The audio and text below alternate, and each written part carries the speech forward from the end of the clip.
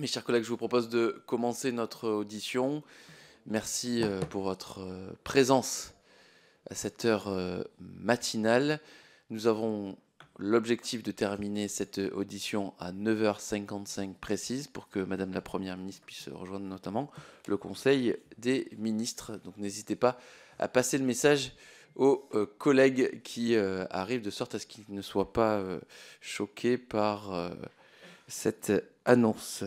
Donc en premier euh, point de notre ordre du, jour, nous avons donc le plaisir d'accueillir Madame Agnès Pannier-Runacher, ministre de la Transition énergétique, pour qu'elle nous présente un bilan des négociations lors de la 28e conférence des partis à la Convention cadre des euh, Nations Unies sur les changements climatiques, la fameuse COP 28. Merci beaucoup Madame la ministre, merci de votre présence.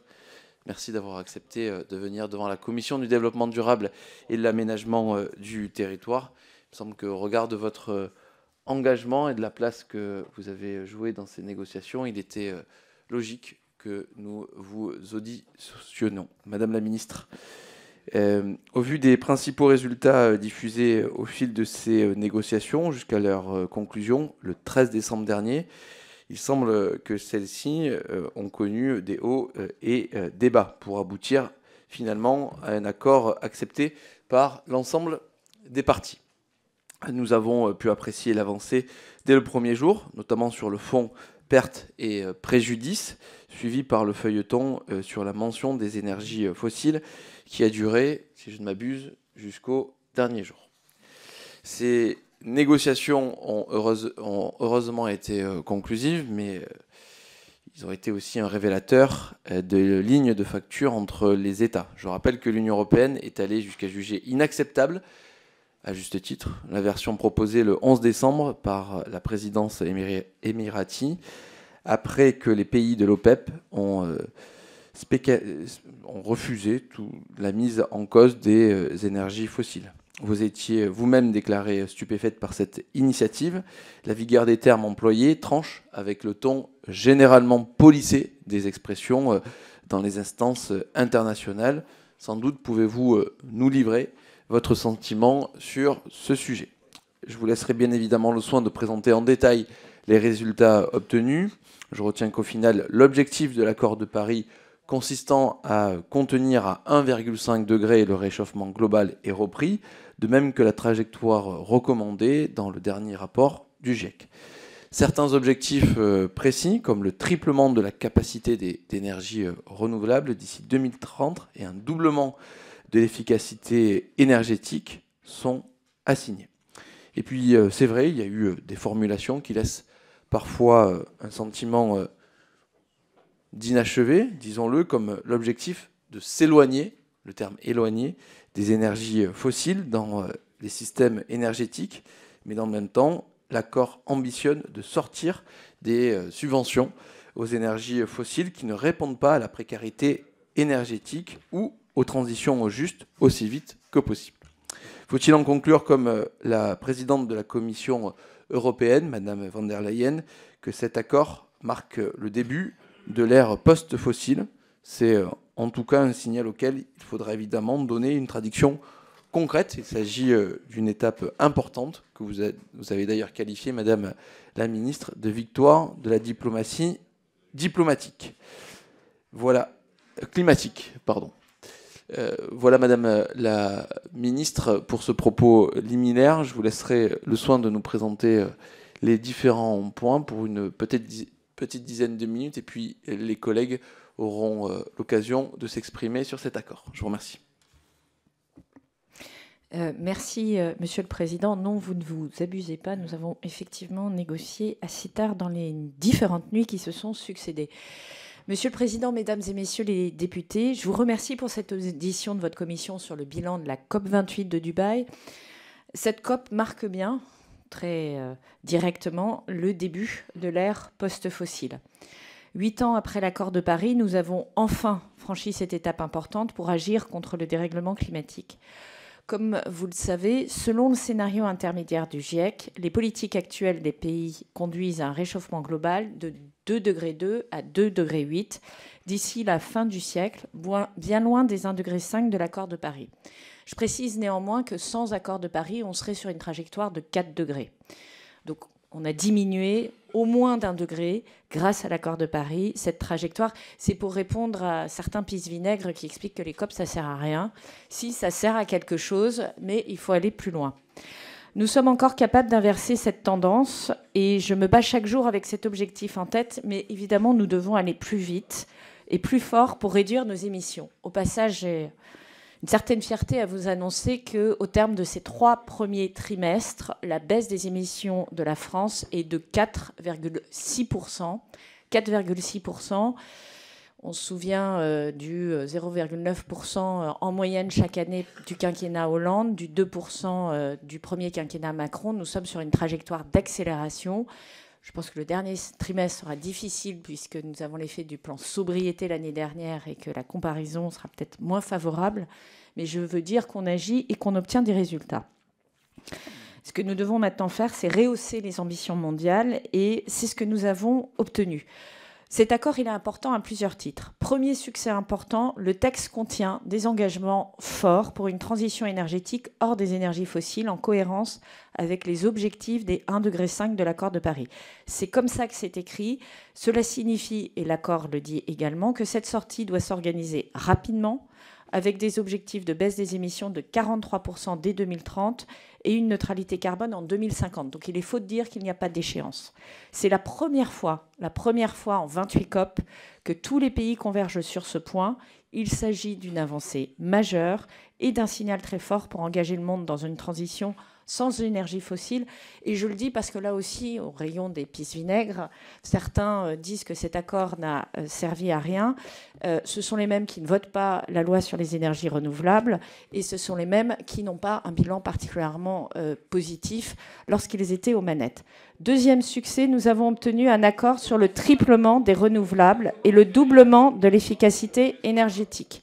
C'était une priorité portée par la France et l'Union européenne, en cohérence avec notre stratégie énergétique que j'ai co-construite avec les parties prenantes et la majorité des groupes politiques, et j'ai soumise à la consultation le 23 novembre dernier. En 2035, vous aurez l'occasion de, répondre. On vous laisse terminer la ministre. Vous aurez l'occasion de répondre. Allez, s'il vous plaît. Euh, non, mais on met les chiffres. On met les chiffres. En 2035, nous devrons produire au moins, en 2035, nous devrons produire au moins 177 TWh supplémentaires d'électricité à partir d'énergies renouvelables par rapport à 2022. 177 TWh d'électricité à partir d'énergies renouvelables par rapport à 2022 pour répondre aux besoins d'électrification et assurer notre sécurité d'approvisionnement nous devrons également baisser notre consommation de 30%. Troisième succès, le texte mentionne pour la première fois la contribution de l'énergie nucléaire. Le mot nucléaire apparaît dans le texte, ça n'était jamais arrivé en 28 COP. Tout à fait, grâce à la lutte contre le changement climatique. C'est une victoire diplomatique de la France, car très clairement, nous avons porté cette avancée avec les membres de l'Alliance pour le nucléaire que j'ai créée en début d'année. Et là, les 196 pays ont montré de manière pragmatique qu'ils n'avaient pas le nucléaire honteux. Le nucléaire, c'est une énergie, je le redis, d'avenir, stable, compétitive et décarbonée, sur laquelle la France continuera de miser grâce à la prolongation des centrales existantes et au programme Nouveau Nucléaire que le président de la République a initié lors du discours de Belfort. Concernant la France, je porterai l'année prochaine un projet de loi relatif à la souveraineté énergétique de la France qui permettra de remettre notre pays sur la bonne trajectoire énergétique en s'appuyant sur un mix énergétique décarboné avec deux piliers, les énergies renouvelables et les énergies nucléaires. Quatrième succès, l'accord final s'appuie sur la science en reprenant les messages les plus importants des scientifiques du GIEC pour tenir la trajectoire des 1,5 degré. Je rappelle que l'accord de Paris, c'est pardon de le faire en anglais, mais c'est comme ça qu'il est écrit, below 2 degrés, far below 2 degrés, uh, and pushing efforts to 1.5 degrés. Là, les références dans le texte, et il y en a plus de 10, c'est 1,5 degré. Ça veut dire que les États, y compris des États qui sont perçus extérieurement comme euh, peu ambitieux d'un point de vue climatique. On peut penser par, exemple aux États du Golfe, ont affirmé de manière très forte leur souhait qu'on tienne cette trajectoire des 1,5 degré. Donc ça peut paraître symbolique, mais c'est en fait un engagement assez fort euh, d'un point de vue multilatéral de l'ensemble des États qui ont un rôle en plus à jouer, puisqu'un État qui émet 0,01% d'émissions de gaz à effet de serre et qui n'a pas de fossiles est un État qui a un peu moins d'impact sur l'ensemble de la copie. Cela comprend la nécessité d'atteindre un pic de nos émissions d'ici 2025, ça n'était pas formulé dans les autres accords, donc de baisser nos émissions de 43% d'ici 2030 et de 60% d'ici 2035. Là aussi, ce n'était pas des rédactions que nous avions dans les précédents accords. Cet engagement, vous le savez, la France et l'Union européenne le relèvent en ayant inscrit la baisse de nos émissions d'ici 2030 de 55% dans le paquet Fit for 55. Cinquième succès, cet accord reprend le travail du pacte de Paris pour les peuples et la planète, initié par le président de la République, notamment sur les financements euh, innovants. Là encore, je le dis, ce, sommet de Paris qui a eu lieu en juin a eu un rôle essentiel pour recréer de la confiance avec les pays du Sud et pour sortir euh, d'un face-à-face euh, assez peu constructif entre pays du Nord et pays du Sud. Et cette façon de revoir en profondeur la finance climatique, non pas en disant c'est les pays euh, euh, du Sud qui, doivent être financés par les pays du Nord, mais nous devons revoir en profondeur le logiciel de la finance du développement et de la finance climatique et aller chercher d'autres sources de financement, réformer la Banque mondiale, réformer le FMI, réformer les banques multilatérales de développement, mettre en place des taxations internationales et euh, trouver euh, des euh, modalités de régulation des dettes internationales lorsque des pays font des investissements dans la nature, c'est le président de la République qui l'a porté et ça a été repris ensuite dans un certain nombre d'agendas, notamment celui de, Nairobi et dans l'initiative de, de Bridgestone. La France continuera à travailler pour faire de cet agenda une réalité sur le terrain et pour contribuer à augmenter les moyens de mise en œuvre de la lutte contre le dérèglement climatique dans les pays vulnérables. Sur tous ces points, c'est la reprise de la stratégie française et européenne qui se retrouve dans un, accord endossé à 196 pays. Alors, il y a des marges de progrès, vous l'avez dit, Monsieur le, Président. Nous aurions évidemment souhaité que le texte prenne des engagements plus forts sur le charbon. Pour le moment, il se contente de copier-coller les écritures de, Glasgow, et en particulier sur la construction de nouvelles centrales à charbon. Le texte aurait pu aussi fixer une cible sur les émissions de méthane dès 2030, mais nous continuerons à porter ces positions dans de prochaines négociations internationales et nous avons obtenu des résultats au niveau euh, européen, puisque c'est les Français qui ont fait bouger le règlement euh, méthane. Et puis, évidemment, toute la partie adaptation peut apparaître comme insuffisante par rapport aux besoins et à la réalité des besoins des pays en développement. Néanmoins, ces résultats ambitieux sont le fruit d'un travail de conviction et de construction de la confiance avec les pays du Sud, je l'ai dit, d'abord en investissant un très gros effort diplomatique pour trouver un accord sur le fonds pertes et préjudices qui vise à mieux accompagner les pays les plus vulnérables victimes de catastrophes naturelles alors qu'ils ne sont pas les responsables du réchauffement climatique. Chacun l'a reconnu, la France a joué un rôle clé dans le compromis qui a permis d'adopter ce fonds pertes et préjudices le premier jour de la COP 28. Et là aussi, c'est un accord historique au sens où c'est la première fois que le premier jour d'une COP, on a un accord sur un point euh, essentiel euh, euh, de l'accord. Ce fonds sera doté de près de 700 millions de dollars de promesses de dons. La France y participera jusqu'à 100 millions d'euros. c'est la rédaction, le propos du président, parce que nous voulons garder la main aussi sur la manière dont ce fonds fonctionnera. Cette adoption rapide et ces annonces ont permis de concentrer ensuite tous nos efforts sur la question de la sortie des énergies fossiles. Deuxième brique de la construction, le fait de réitérer l'engagement des 100 milliards de dollars et qui euh, est atteint ces deux dernières années pour faire face au dérèglement climatique. Quand je dis ces deux dernières années, c'est 2022 et 2023. La France y contribue à hauteur de 7,6 milliards d'euros en 2022. Troisième brique, les contact étroit que j'ai noué avec le groupe des pays et, le président évidemment les moins avancés présidé par le Bangladesh, avec le Kenya, avec les pays latino-américains progressistes comme la Colombie ou le Chili, avec le Brésil, qui a été euh, instrumental puisque c'est un pays émergent qui a manifesté un fort leadership diplomatique, ce qui est relativement nouveau, mais aussi avec mes homologues chinois, indiens, saoudiens, pour les convaincre de se rallier à un accord qui était moins évident pour eux, mais qui nous fixe clairement un cadre collectif de responsabilité permettant de sortir de manière organisée des énergies fossiles et en tenant compte du point de départ de chacun. Nous avons ainsi construit une coalition de plus de 130 pays qui a largement pesé dans les résultats obtenus sur la sortie des énergies fossiles et qui sortait des groupes habituels et donc des face-à-face habituels entre euh, Sud et Nord. Collectivement, nous avons travaillé très dur pour arriver à ce résultat. Je veux féliciter, saluer toutes les équipes de négociateurs français. Vous savez qu'il y a plus de 30, 50 personnes qui ont travaillé pour, pour cet accord. On peut se féliciter d'avoir une des très bonnes équipes de négociation. Je pense à l'ambassadeur climat euh, Stéphane Crouza.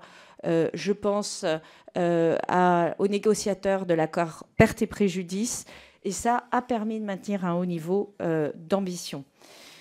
Pour conclure, euh, la crise climatique ne va pas s'effacer euh, du jour au lendemain avec cet accord. On en est euh, tout à fait convaincu. Il va falloir travailler très dur à Bakou l'année prochaine pour la COP 29 et surtout à Belém au Brésil pour la COP 30. il faut aller plus loin, notamment sur la solidarité avec les pays du Sud, sur l'adaptation, sur la justice climatique.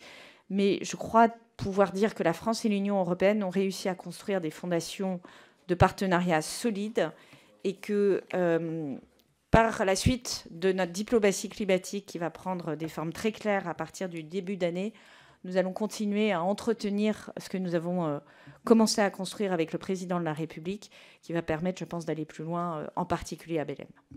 Merci beaucoup, Madame la Ministre. Nous arrivons donc aux orateurs des groupes. Pour le groupe Renaissance, la parole est à Marjolaine Mény-Milfer. Merci, Monsieur le Président. Mes chers collègues, Madame la Ministre, félicitations.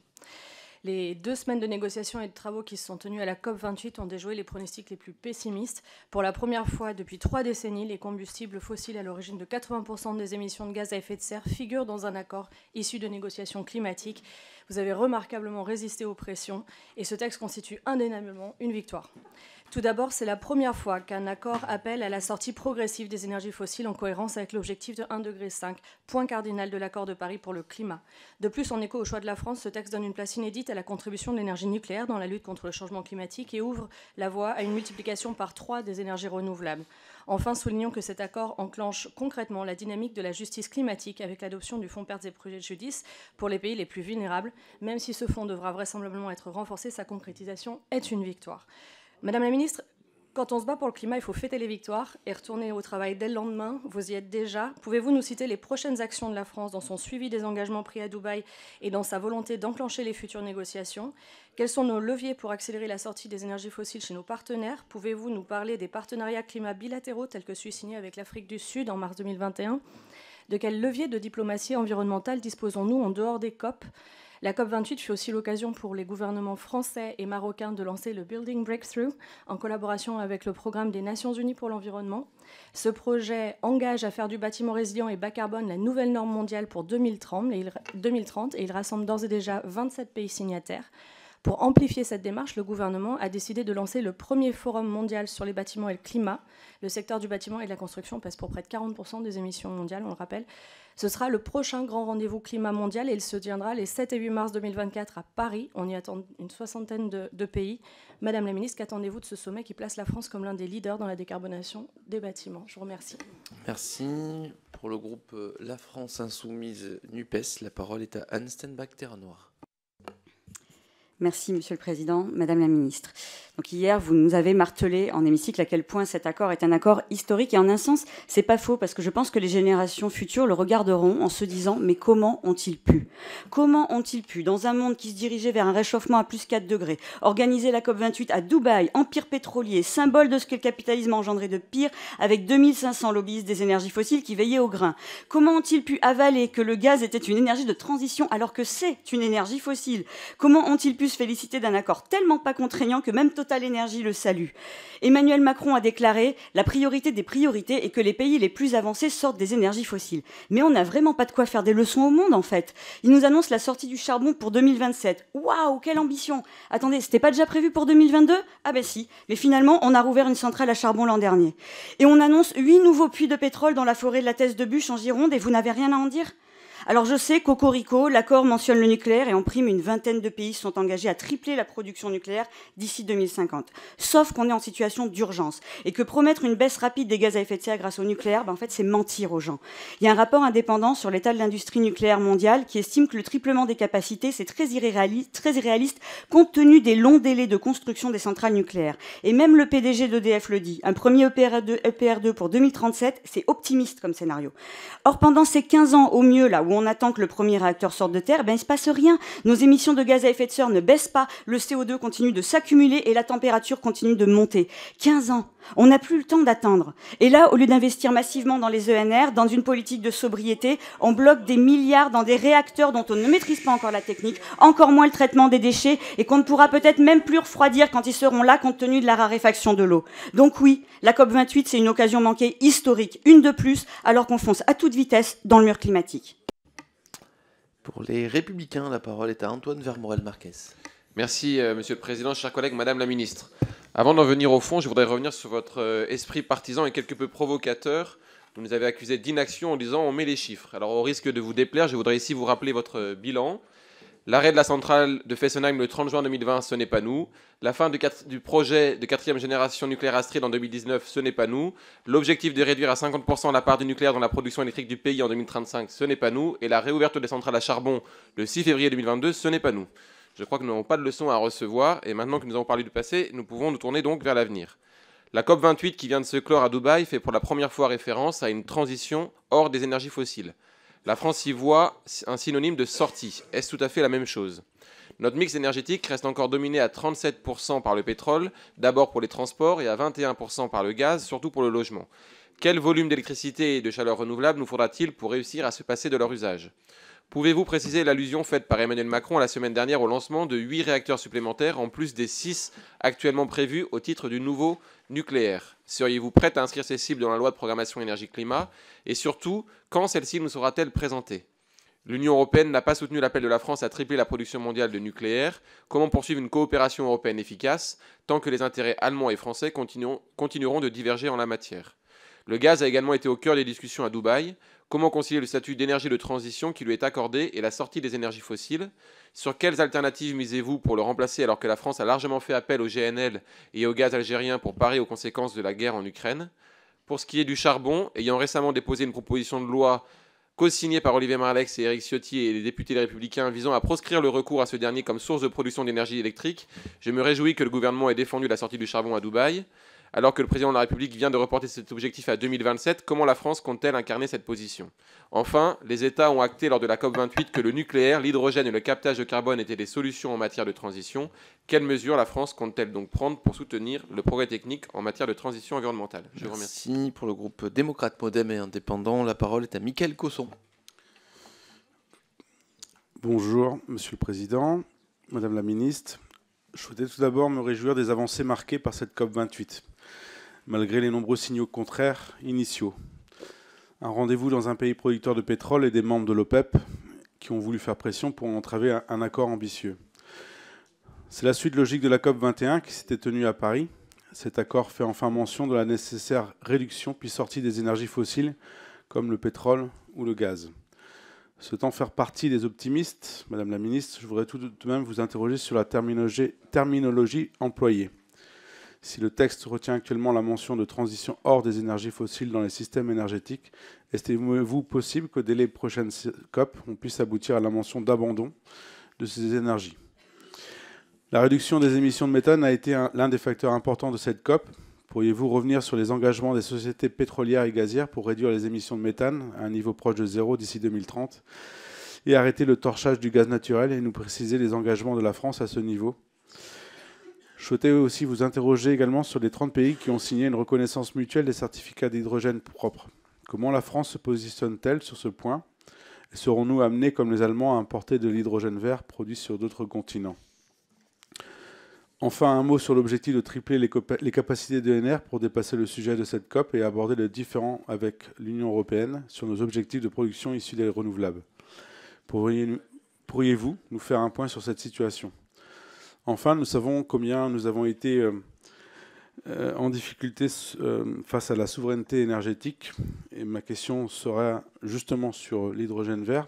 Quelles ambitions pour la France? Et enfin, en milieu rural, quel est votre regard sur la biométhanisation à l'échelle des exploitations pour non seulement qu'ils puissent assurer leur souveraineté énergétique en milieu rural et pour la filière agricole, mais également qu'ils puissent diminuer leur impact environnemental? Merci, chers collègues. Pour le groupe socialiste et apparenté, la parole est à Stéphane Delotrette. Merci, Monsieur le Président. Euh, Madame la Ministre, j'irai droit au but. Si nous pouvons nous féliciter que pour la première fois, le projet de décision d'une COP reconnaisse la nécessité de s'éloigner des combustibles fossiles, nous ne pouvons considérer cet accord comme historique. Et je me permets d'autant plus de le dire, et je vous le rappelle, Madame la Ministre, nous avons travaillé et voté avec vous le texte accélération sur les énergies renouvelables. Or, force est de constater aujourd'hui que les discussions, les décrets soumis à discussion ne sont pas à la hauteur des promesses que vous nous aviez faites au moment de ce travail. Pour en revenir à la COP, cette COP a permis de montrer le décalage entre les engagements des États et ce qui serait nécessaire pour limiter le réchauffement climatique proche des 1,5 degrés. Le texte ne fixe ni objectif ni calendrier de sortie des énergies fossiles. Or, le dernier rapport du GIEC précise que pour respecter les accords de Paris, l'utilisation du charbon doit être réduite de 95% dans le monde entier, celle du pétrole de 60% et celle du gaz de 45% d'ici 2050. En résumé, cet accord ne semble pas programmer la fin des énergies fossiles, mais semble justifier au contraire de les conserver un peu plus. C'est ce que fait votre gouvernement. La sortie du charbon, déjà promise pour 2022, est désormais reportée en septembre dernier, en 2027. Alors que notre pays fait face à des besoins d'électrification massifs, que notre parc nucléaire est vieillissant et que l'accélération des énergies renouvelables peine à compenser nos besoins accrus en électricité. C'est pourquoi mon groupe réitère ici la volonté de débattre d'une loi de programmation énergétique et d'une autre portée que les textes qui nous sont imposés, tels que celui voté hier. C'est l'unique moyen de nous assurer collectivement que nous sortirons bien des énergies fossiles tout, en construisant un cadre propice au développement des énergies décarbonées. Alors, Madame la Ministre, à quand une grande loi de programmation énergétique? Merci. Pour le groupe Horizon et Apparenté, la parole est à Vincent Thiebaud. Merci Monsieur le Président, Madame la Ministre, mes chers collègues. Il y a quelques jours s'est achevée cette 28e conférence des partis à la Convention cadre des, Nations Unies sur le changement climatique, la COP28. Huit ans après la COP21 et l'adoption historique de l'accord de Paris pour le climat, nous pouvons ici nous féliciter de cette 28e édition qui représente une étape déterminante dans la lutte contre le changement climatique. Cela a été évoqué, de nombreuses avancées ont été engagées lors de cette COP28 et je tiens à rappeler que la France et l'Union européenne ont supporté une position exigeante et volontariste durant les négociations. D'abord, vous le savez, nous pouvons nous féliciter de l'accord historique relatif à la sortie progressive des énergies fossiles et qui nous permettra d'une part d'atteindre la neutralité carbone d'ici 2050 et d'autre part de respecter l'objectif de limitation du changement de réchauffement climatique à 1,5 degré fixé par l'accord de Paris. À ce titre, je tenais à vous saluer votre travail, Madame la Ministre, et l'ensemble euh, de, vos collaborateurs qui vous accompagnaient durant ces trois jours. Nous devons maintenant mettre en œuvre pleinement ce plan en tant que parlementaires. Nous serons attentif. Je voudrais aussi saluer votre travail et votre ténacité, parce qu'il est facile de critiquer qu'on est assis au fond d'une salle à Paris, alors que nous avons affaire, effectivement, vous étiez au contact de 130 pays qui avaient tous, effectivement, des obligations et exigences. Quand j'entends certains collègues, faut peut-être leur rappeler que la France est 66 millions d'habitants, dans le monde, elle a 700 milliards, et faut arrêter, 7 milliards, pardon, il faut arrêter de croire que nous pouvons fixer nos exigences au monde entier. Par ailleurs, nous pouvons nous réjouir de l'ambition de tripler les énergies renouvelables dans le monde d'ici 2030 et de la reconnaissance du rôle clé d'énergie nucléaire qui vont dans le sens des engagements pris pour la majorité il y a quelques mois.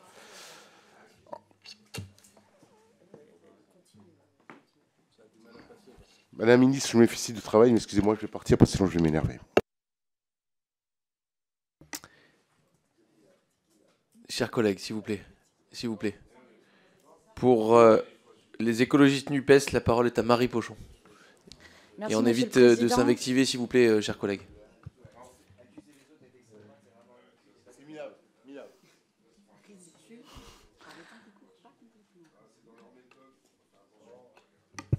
Vous avez la parole, Marie Pochon.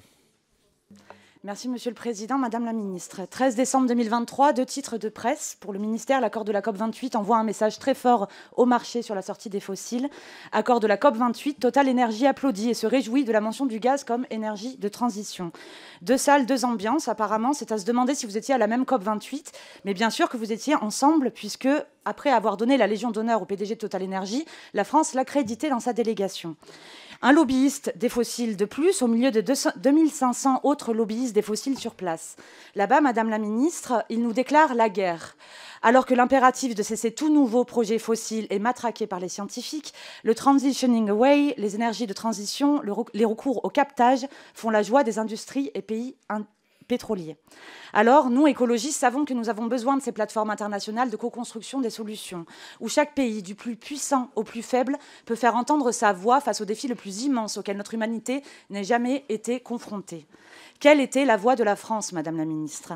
Était-ce celle de l'intégration de la sortie de toutes les énergies fossiles, charbon, pétrole et gaz, alors que vous avez fait de ces négociations une plateforme de com pour vos lubies nucléaires tout en annonçant des nouveaux forages pétroliers en Gironde, alors que le phase-down remplace le phase-out si nécessaire Était-ce la voie du traité de non-prolifération des énergies fossiles ou de l'abandon des bombes climatiques comme ICOP, alors que vous les soutenez et empêchez les députés de soutenir ces mesures?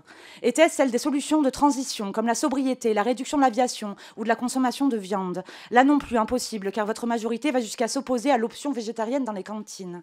Madame la ministre, la France a une voix dans ces négociations, une voix cruciale. Sera-t-elle, demain, celle qui soutiendra le traité de non-prolifération des énergies fossiles? Et qui cessera de soutenir les bombes climatiques de ces majors Ou bien est-ce trop pisse-vinaigre Je vous remercie. Merci pour le groupe Liberté Indépendant Outre-mer et Territoire. La parole est à Guy Bricou. Merci Monsieur le Président, et Madame la Ministre. À l'issue de cette COP28, on peut, je pense, se féliciter qu'elle ait permis de déterminer une grande ligne directrice qui tente à mettre tous les acteurs en ordre de marche, malgré des intérêts particulièrement divergents pour s'extraire progressivement des énergies fossiles. On est au-delà du symbole, une ligne est tracée, et on n'imagine pas que certains pourraient désormais faire machine arrière. C'est donc euh, bon signe, c'est une bonne inflexion. Madame la ministre, cette nouvelle COP s'est tenue dans un climat mondial de crise toujours plus sévère, guerre, catastrophe économique, climatique. Comment cela se traduit-il dans ces négociations? Les experts n'arrêtent pas de nous alerter sur l'urgence, elle est plus prégnante que jamais. Aujourd'hui, à l'issue de cette COP, peut-on encore imaginer que nous pourrons accélérer le mouvement pour ne pas atteindre un réchauffement global de 1,5 degré centigrade? Selon l'ancienne coprésidente du GIEC, Valérie Masson-Delmotte, si on réalisait toutes les promesses, cela ne permettrait une baisse que de 5% des gaz à effet de serre, alors que pour limiter le réchauffement largement sous les 2 degrés degrés, il faudrait une baisse de 43%. Dès lors, comment composer au niveau national avec un tel échec annoncé? Comment avez-vous précisément ressenti l'investissement de la Chine dans ces négociations alors qu'elle a pu être perçue comme assez constructive ou facilitatrice? Ce sont des mots qui revenaient souvent dans la bouche des commentateurs. Pouvez-vous nous expliquer la manière dont elle a effectivement influé sur ce sommet? A-t-elle donné une vraie impulsion et sur quel point a-t-elle bloqué? Comment percevez-vous, Madame la Ministre, au lendemain de cette COP, l'engagement des entreprises qui sont des acteurs clés de notre transition énergétique Et enfin, que pensez-vous du fait qu'il n'y ait toujours pas de sanctions prévues pour les pays qui ne suivraient pas les engagements qu'ils ont signés Citons ainsi l'accord non contraignant signé le 2 décembre qui vise à tripler les capacités de renouvelables dans le monde d'ici 2030. Ne risque-t-on pas, comme trop souvent, de s'arrêter à une bonne intention? Merci. Merci. Et enfin, pour le groupe gauche démocrate et, républicaine, je vais laisser la parole à Jean-Victor Castor en rendant un hommage, je pense qu'on peut tous lui rendre à Hubert Vulfranc, qui euh, a fait son pot de départ euh, hier. Et ce n'est pas un adieu, ce n'est qu'un au revoir, mais on pense bien à, à Hubert au moment où je m'exprime. Cher Jean-Victor Castor, la parole est à vous. Bonjour tout le monde, bonjour Président. Madame la ministre, euh, en fait, moi, je vais intervenir comme presque un porte-parole euh, des pays du Sud, parce que la Guyane, c'est un pays du Sud sous-développé, euh, en pleine Amazonie, pays totalement oublié, non aménagé, confrontés à leur paillage illégal, je l'ai déjà dit. Et je vous avais expliqué il y a quelques mois de ça que partir dans les COP pour la diplomatie française, c'est aussi d'avoir balayé devant sa porte. Et en réalité, ce qui se passe en Guyane, c'est un scandale. Donc il y a eu une mission de la Commission développement durable qui est partie du 16 au 22. Il y a un rapport, je vous invite à le lire, Madame, la Ministre, parce qu'on ne peut pas faire de la diplomatie internationale sans tenir compte d'un certain nombre de réalités. Aujourd'hui, sur le plateau des Guyanes, il y a un développement hors norme de l'exploitation de l'énergie fossile. Le Venezuela, on le savait, le Guyana, euh, c'est énorme ce qui se passe. Au Suriname, M. Pouyanné vient de signer avec un budget de près de 9 milliards d'investissement au Suriname, Petrobras au Brésil, à une heure de la Guyane. En fait, euh, la Guyane est, elle est un petit peu comme les pays du Sud, sauf que nous, sommes, euh, nous faisons partie intégrante de la France. En tous les cas, c'est ce qui est dit. Mais on ne voit pas le retour et on ne voit pas cette solidarité. Donc, ce que je veux dire ici, c'est qu'il est très important de, de comprendre que les peuples, les peuples du Sud, ont besoin de se développer. Ce ne, sont, ce ne sont pas les peuples du Sud qui ont pollué la planète. Ce ne sont pas les peuples du Sud qui ont pollué la planète. Ce ne sont pas les peuples autochtones qui ont pollué la planète. Aujourd'hui, c'est eux qui subissent les conséquences. Donc, effectivement, nous devons euh, prendre en compte ce qui s'est passé dans le monde, mais la diplomatie, et bientôt il y aura donc effectivement une COP à Belém. Moi, j'aimerais savoir si les Guyanais feront partie de la délégation, si nous serons présents et si notre parole portera dans cette délégation.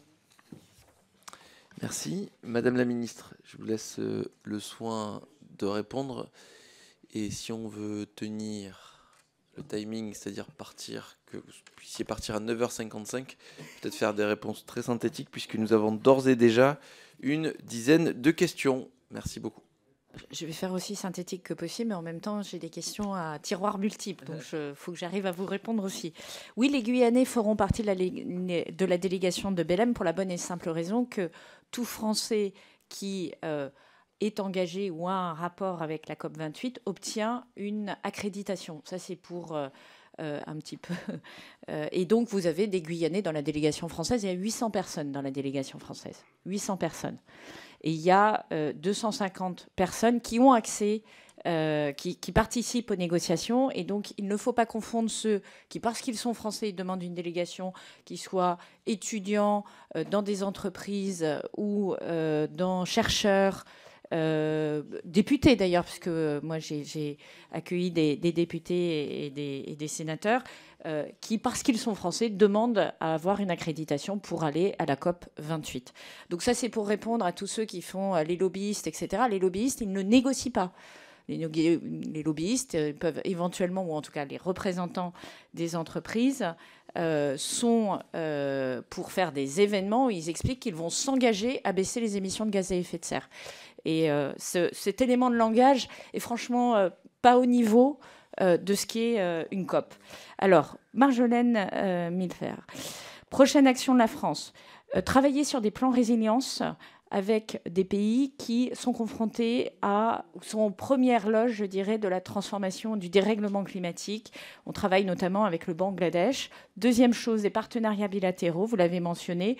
On en a un sur le nucléaire, triplement du nucléaire d'ici 2050, hein, ce n'est pas la semaine prochaine, on tient bien en compte euh, du temps de développement du nucléaire, partenariat sur le green shipping, euh, le transport maritime vert, partenariat sur le charbon, sur lequel le président de la République s'est fortement engagé, comment très vite on réduit euh, le charbon, on sort du charbon, on accompagne les pays qui ferment des centrales à charbon, qui doivent accompagner socialement et économiquement leur pays. C'est ce qu'on fait d'ailleurs avec le partenariat que vous mentionnez, qui est un JETP avec l'Afrique du Sud. On a un milliard d'euros engagés sur cinq ans pour permettre à l'Afrique du Sud d'accélérer sa sortie euh, du charbon. Et au total, c'est 8,5 milliards de dollars de financement pour accompagner la sortie du, charbon dans différents pays, le Vietnam, l'Indonésie, le Sénégal. Euh, sur le Building Breakthrough qui a été engagé avec le Maroc, l'objectif, c'est du prochain sommet, c'est de se mettre d'accord sur des objectifs communs de décarbonation du bâtiment avec une déclaration de tous les pays présents dans ce sens. et sur le financement, c'est continuer à dérouler l'agenda de Paris avec, à l'occasion de chaque événement G7, G20, AG des Nations Unies, et en créant des coalitions plus spécifiques, continent par continent, comme on l'a fait depuis, euh, depuis Paris en juin dernier. Euh, Madame Stembark, Terre Noire, je, pense que vous avez une présentation extraordinairement euh, caricatural de ce qui est une négociation à la COP. J'ai répondu sur les participants. Je rappelle que corps de mai, il n'était pas question de le fermer en 2022. Donc ça, c'est pour m'inscrire en faux contre un certain nombre de fake news euh, que vous contribuez à disséminer dans l'atmosphère. Oui, on est capable de faire x3 d'ici 2050 en nucléaire. Je rappelle qu'on fera plus 40% d'ici 2030 parce qu'il y a un certain nombre de nations qui sont engagées dans le nucléaire. Et ce qui est intéressant, c'est que 196 pays s'engagent dans le nucléaire. Alors probablement, vous avez raison, contre tous les pays du monde, mais je me permets de le signaler, a priori, 196 pays et les responsables politiques de ces 196 pays considèrent que l'énergie nucléaire est une énergie bas carbone et qui contribue à la lutte contre le dérèglement climatique. Et en plus, vous le faites alors que votre groupe, et je distingue bien les groupes qui votent la loi accélération des énergies renouvelables et les groupes qui ne votent pas la loi accélération des énergies renouvelables. Je le distingue bien et au sein de la NUPS, il y a des groupes qui ont voté la loi et des groupes qui ne l'ont pas votée. Et je le dis très clairement. Certains ont pris leurs responsabilités, d'autres font de l'écologie de pacotille en disant faut pas faire ci, il faut pas faire ça, mais à la fin, ils ne sont pas au rendez-vous. Sur la baisse des émissions de gaz à effet de serre, vous dites que ça augmente? S'il vous plaît, s'il vous plaît. Vous dites que ça augmente, ça baisse de 4,6%. Trouvez-moi un pays dans le monde un seul pays dans le monde qui baisse ses émissions de gaz à effet de serre de 4,6% ces trois derniers trimestres. Sur... S'il vous plaît, s'il vous plaît. S'il vous plaît. On est respectueux, on dit les faits. C'est juste ça, monsieur. Le député. Monsieur Vermorel Marquez, alors, transition away versus phase out. Là, je ne sais pas encore quelle sera la traduction française, nous on l'attend. Transition and phase, c'est la même chose, c'est une sortie, enfin, pardon, c'est un, c'est un exercice phasé. Transition et phase, vous avez la même notion de ordonné et phasé. Out et away, dans ma modeste maîtrise de l'anglais, ça dit la même chose. Et transition away call, c'est quelque chose que l'on retrouve comme sortie du charbon. Est-ce que cette traduction sera retenue en français? On pourra en discuter quand on aura le texte. mon sentiment très clair, c'est que ça n'a rien à voir avec du face down, puisque c'est comme ça que nous l'avons obtenu. Il est très clair que ce n'est pas du face down, c'est euh, de l'ordre du phase out. Le phase out étant un mot qui était devenu très tabou. Je pense que tous autour de cette table ont l'expérience euh, de la légistique et des mots qu'on ne peut pas introduire sur lesquels on fait des, des contournements par amendement pour obtenir des choses un peu similaires, euh, comprendront ce que je veux dire. C'est de la même nature que lorsque vous portez un amendement et que vous allez faire un pas de côté pour obtenir votre objectif final euh, en termes de, euh, de résultats. Quel volume d'électricité et de chaleur? C'est un peu trop long, mais je vous renvoie à la stratégie française énergie-climat qui est publique, que vous avez contribué à co-construire et qui est, euh, sur lequel nous sommes en concertation publique. Et je, rappelle que vous avez évidemment la, faculté d'y participer. Euh, à, tous les titres, en tant qu'élu local, en tant que voilà, euh, en tant que député aussi évidemment.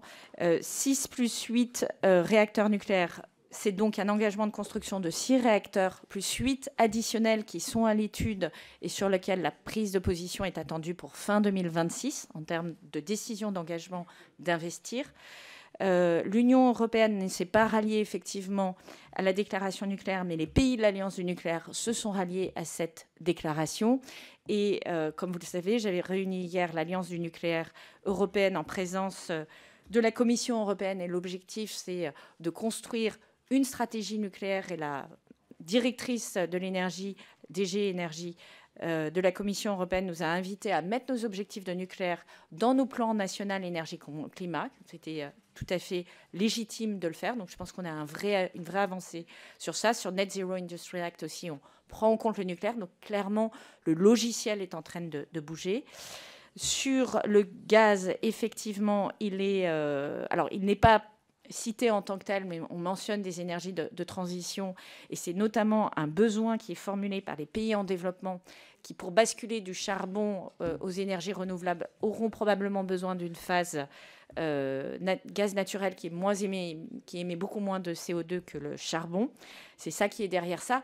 Et il y a en tête que les pays qui ont été les plus vocaux aussi contre la sortie des énergies fossiles, c'est les pays africains euh, en développement, les plus pauvres qui disent j'ai besoin de moyens de développement. C'est ce que vous avez dit d'ailleurs, euh, monsieur euh, euh, le député, en, en, signalant la situation de la Guyane et de vos voisins qui revendiquent d'une certaine manière d'avoir des moyens de développement. Donc ils disent très bien, donnez-moi ces moyens de développement si vous me privez de l'accès à un moyen de développement naturel qui est les énergies fossiles. Et je pense que ce débat, il doit être adressé, vous avez parfaitement raison. Sur le charbon, c'est je rappelle que Cordemais, c'était bien une sortie en 2027. Sur les CCUS, vous avez un plan CCUS qui a été publié euh, par euh, Roland Lescure et moi-même, avec notamment des soutiens, sachant que notre stratégie CCUS, ce n'est pas une stratégie euh, tout venant, mais c'est une stratégie réservée aux secteurs les plus difficiles, enfin, dans lesquels la baisse des émissions est la plus difficile, parce que nous estimons que le CCUS, la capture carbone ne répondra pas à tous les usages et que le risque, c'est que ce soit un prétexte pour euh, retarder le moment de la sortie des énergies fossiles. Donc on a une version euh, équilibrée, on va dire, euh, sur le CCUS, mais on soutient bien le CCUS dans notre stratégie industrielle et, et climatique. Monsieur Cosson, les prochaines COP, oui, on est bien dans la notion déjà d'abandon des énergies fossiles. Euh, les engagements des sociétés pétrolières, euh, ils ont été pris dans des coalitions qui sont latérales, dans lesquelles les entreprises européennes et un certain nombre de grandes entreprises nationales, je pense à euh, celle de l'Arabie saoudite, celle des Émirats arabes unis, ont signé ces engagements. Ce n'est pas le cas de tous les groupes pétroliers de la planète. il faut élargir ce point-là et notamment aller vers une interdiction du torchage à horizon 2030 parce que c'est euh, des gains rapides sur la reconnaissance mutuelle de certificats hydrogène propre et surtout l'importation d'hydrogène. Là aussi, je vous renvoie à la stratégie française énergie-climat où on répond à cette question. Nous avons deux tiers de notre mix énergétique importé. Nous ne saurons pas du jour au lendemain le remplacer par des productions locales. Et donc, une partie de notre hydrogène sera importée, mais nous voulons être en capacité de produire nous-mêmes de l'hydrogène pour éviter d'être dans une situation de dépendance totale, comme on l'est par exemple sur le pétrole, où 99%, plus de 99% de notre pétrole est importé. Euh, tac, tac. Sur, euh, sur la biométhanisation, je me permets aussi de vous renvoyer sur la stratégie française énergie-climat. Tous les chiffres sont dedans. Sur Monsieur le député de Lautrette, je ne me trompe pas sur les ENR. Vous avez voté en responsabilité ce texte. Vous l'avez voté et vous y avez introduit des choses. Sur les décrets, ils ne peuvent pas aller à l'encontre du texte. Donc, euh, je ne sais pas à quoi vous faites référence, mais il y a bien à la l'agrivoltaïsme. Donc ça, on pourra en, parler euh, latéralement. Euh, on en a beaucoup parlé avec votre collègue, le député Potier. Je pense que c'est un juste équilibre qu'on a trouvé et qu'il y a parfois des hum, contre-vérités qui peuvent circuler. L'objectif dans le texte COP28 est bien chiffré. Moins 43% de baisse des émissions de gaz à effet de serre en 2030, un pic en 2025 et une sortie en 2050. C'est écrit noir sur blanc et à plusieurs endroits euh, du texte. Euh, et donc, euh, sur la stratégie française énergie-climat, je je vous renvoie à, ce qui est déjà sur la table depuis le 23 novembre et auquel vous avez d'ailleurs tout à fait contribué à euh, que vous avez contribué à nourrir. Je ne dis pas que vous êtes d'accord avec tout, mais vous avez contribué à le nourrir. Monsieur Thibault, Madame Pochon, euh, quand on vote pas la loi sur les énergies renouvelables, je ne sais pas à quel titre on parle d'écologie. voilà. Mais pour répondre, mais oui, mais si. Mais pour répondre, pour répondre sur la sortie des énergies fossiles. S'il vous plaît. Pour répondre sur la sortie des énergies fossiles. Non, mais vous pouvez dire, il faut accélérer sur les énergies renouvelables et pas voter la loi qui accélère les énergies renouvelables. Je, je, me permets de vous pointer. Plaît, vous aurez l'occasion. Non, mais s'il vous plaît, euh, vous aurez l'occasion de réagir dans un second temps, s'il vous plaît. Donc, euh, Madame la ministre répond. vous prenez la parole juste après. D'accord, mais il faut être cohérent. Il faut être cohérent, c'est juste. Euh, Allez, je suis pour les énergies renouvelables, je les accélère. Je suis contre les énergies renouvelables, je ne les accélère pas. Ça me paraît assez logique comme euh, logiciel. Le crédit agricole, pour vous donner un exemple, a annoncé suite au texte de euh, la COP28 qu'il sortait ses financements des énergies fossiles. Donc est-ce que concrètement ça produit des effets? Oui, et ça produit des effets en France. Et donc ce n'est pas un face down qui est euh, dans le texte. Ce que vous dites est euh. Sur la sobriété, elle est dans le texte de la COP28, ce n'est pas inintéressant de le savoir. Et je rappelle que c'est ce gouvernement qui a apporté un plan de sobriété et qui a permis de baisser euh, la consommation de gaz et d'électricité de 12% de manière combinée et que ce n'est pas tout à fait étranger à la baisse de 4,6% des émissions de gaz à effet de serre depuis le début de l'année. Donc vous voyez bien que un certain nombre de vos propos, en fait, sont assez infondés confronté à la réalité des faits. Monsieur le député Bricou, euh, pour arriver au 1,5 degré, il faut que chaque pays augmente ses engagements nationaux, ses euh, euh, National Determined Contribution. C'est ce que nous faisons en européen pour nous mettre sur la trajectoire des 1,5 degré. Et c'est ce que nous poussons à faire avec les autres pays. Vous avez des pays qui ont annoncé des augmentations de leur euh, contribution nationale, mais c'est évidemment, vous avez complètement raison, l'enjeu des euh, deux COP à venir pour être crédible. Vous avez raison de parler de multilatéralisme. Ce qu'il faut retenir quand même aussi, c'est que c'est une grande victoire du multilatéralisme dans un moment de confrontation sur, sur euh, différents continents et de confrontation violente sous forme de conflits à haute intensité où d'autres formes de confrontation géopolitique, économique. Et, ça aussi, je pense que c'est à saluer, je dirais globalement, si on prend un pas de côté au regard, au-delà de ce qu'a pu être le rôle de la France, et c'est très important. Comment la Chine a agi de ce que j'ai pu en voir. La Chine n'a pas été à la manœuvre pour avoir un accord, mais à aucun moment elle, elle a empêché un accord. Et le texte sur lequel elle s'est mise d'accord avec euh, les États-Unis en entrée, enfin deux semaines avant la COP, euh, qui appelait à substituer euh, les énergies bas carbone aux énergies fossiles, a clairement aidé aussi à lancer la discussion dans la sortie des énergies fossiles. Euh, alors, oui, l'accord de la COP est un accord d'engagement volontaire. Il n'a pas la force de, Enfin, en tout cas, il n'y a pas de sanctions. c'est parfaitement exact. Mais je rappelle que cet accord, finalement, il joue, puisque vous êtes des législateurs, les législateurs dans chaque pays s'appuient sur cet accord pour peser sur les textes qui sont pris au niveau euh, national. Et c'est comme ça que, cela fonctionne euh, en réalité, de même que l'opinion publique peut s'appuyer sur cet accord. Et c'est pour ça que nous sommes passés d'un scénario de 4 degrés en entrée d'accord de Paris à aujourd'hui un scénario entre 2 degrés 2 et 2 degrés 8. C'est euh, peut-être pour... sur sur euh, le triplement des renouvelables, l'enjeu, il est vraiment de les développer dans les pays en développement. C'est-à-dire que la France, l'Europe, euh, la France, l'Europe, les États-Unis, euh, la Chine sont partis. La Chine devrait mettre en ligne 1200 gigawatts de renouvelables. Quand vous regardez ce qu'il y a en France, c'est absolument gigantesque. C'est le tiers des capacités mondiales installées.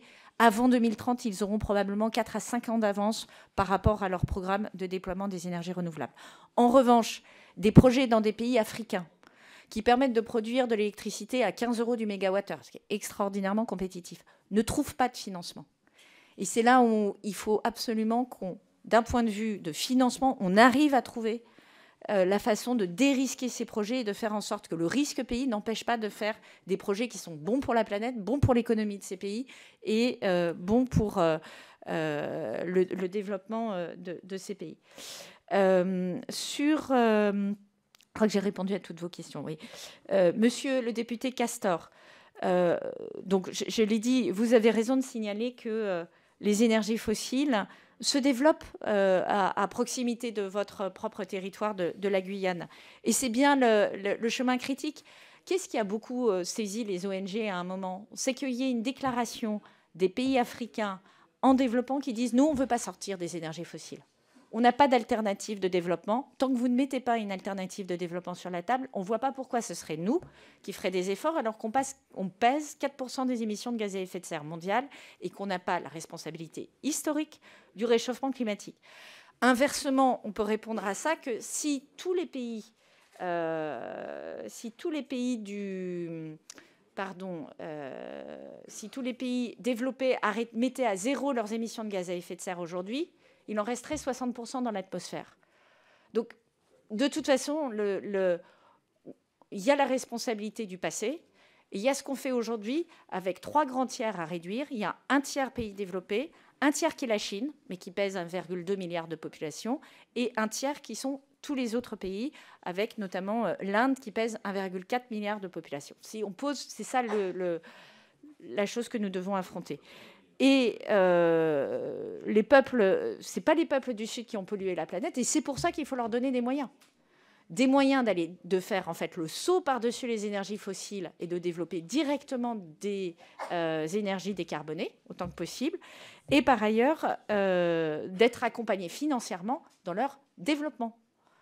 Donc c'est le point central, et également l'adaptation, parce que vous êtes confrontés aux aux, tempêtes, aux cyclones, etc. Euh, il faut adapter quand on construit des routes, des bâtiments, euh, quand on fait toute la partie agriculture, à ce réchauffement climatique et ce que ça veut dire, de manière à ce que euh, on puisse, vous puissiez le traverser, nous puissions collectivement le traverser de manière plus, enfin, moins impactante pour les populations. Pardon? Alors, je, vais devoir laisser, mais encore une fois, on peut aussi se parler. Vous avez surtout un volet qui est biodiversité, qui est majeur. J'en ai pas parlé.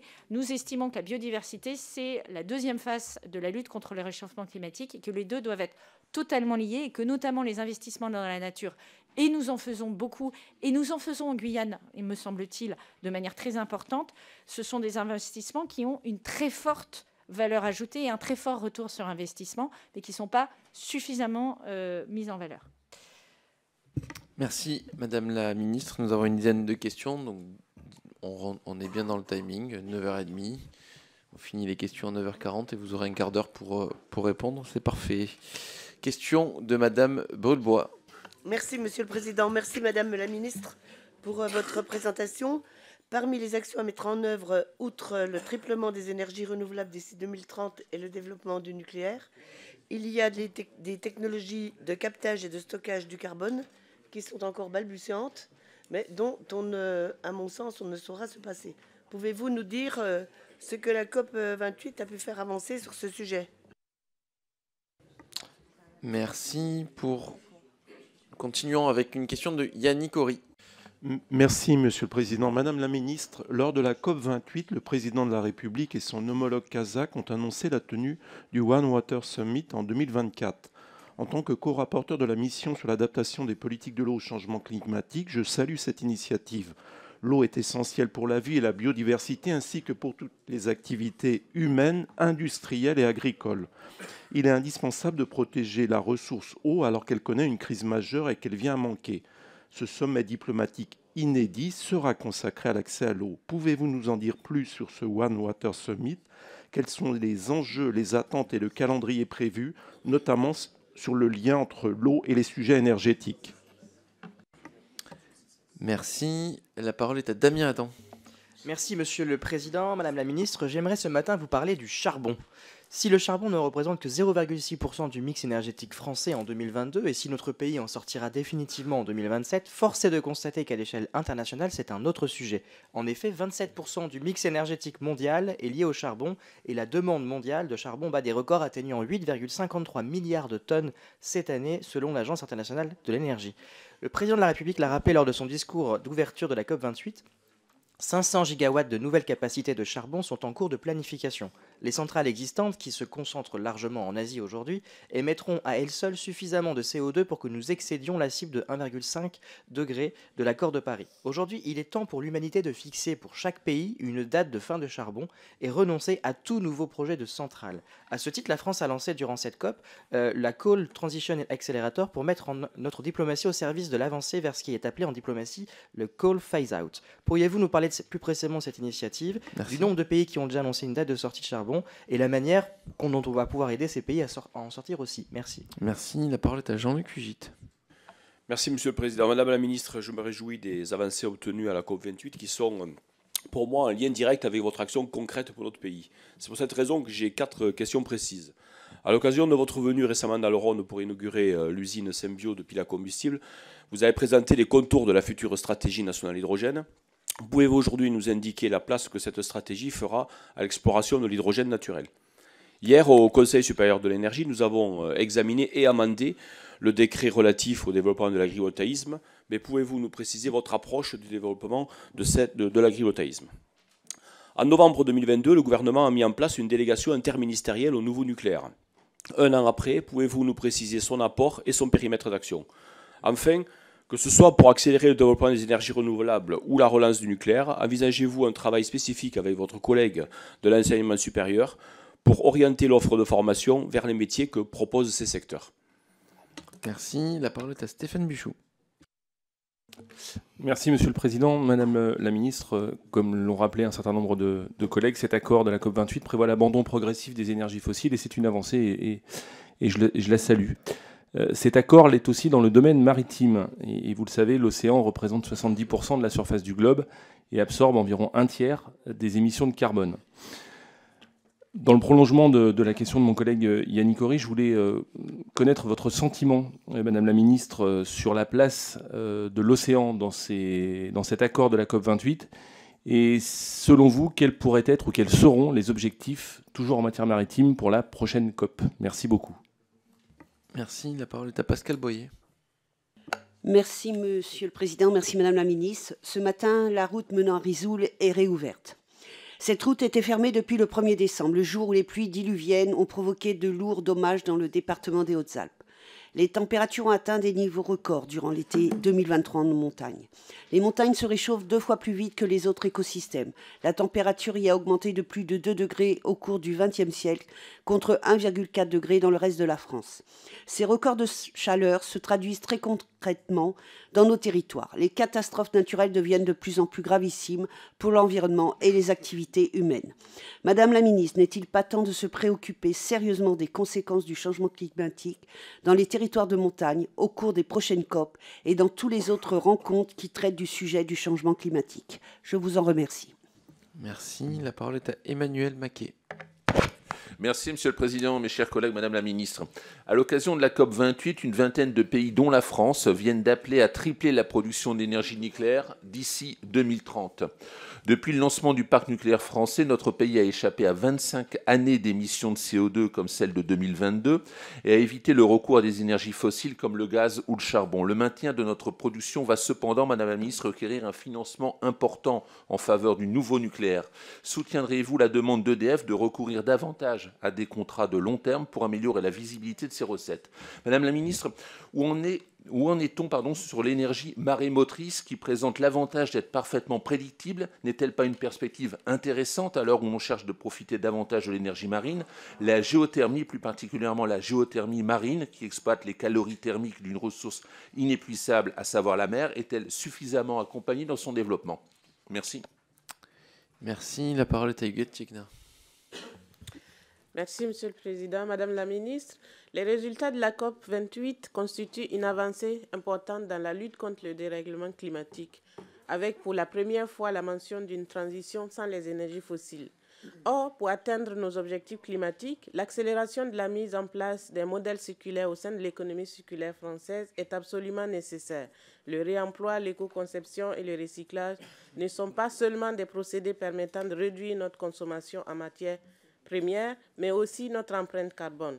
Et si la loi AGEC en France a permis de fixer les objectifs nationaux ambitieux en la matière et que l'Union européenne s'est saisie du sujet, notamment via le règlement sur les batteries du juillet 2023 ou celui des emballages adopté par le Parlement européen le mois dernier, une action coordonnée de promotion de l'économie circulaire au niveau international est indispensable.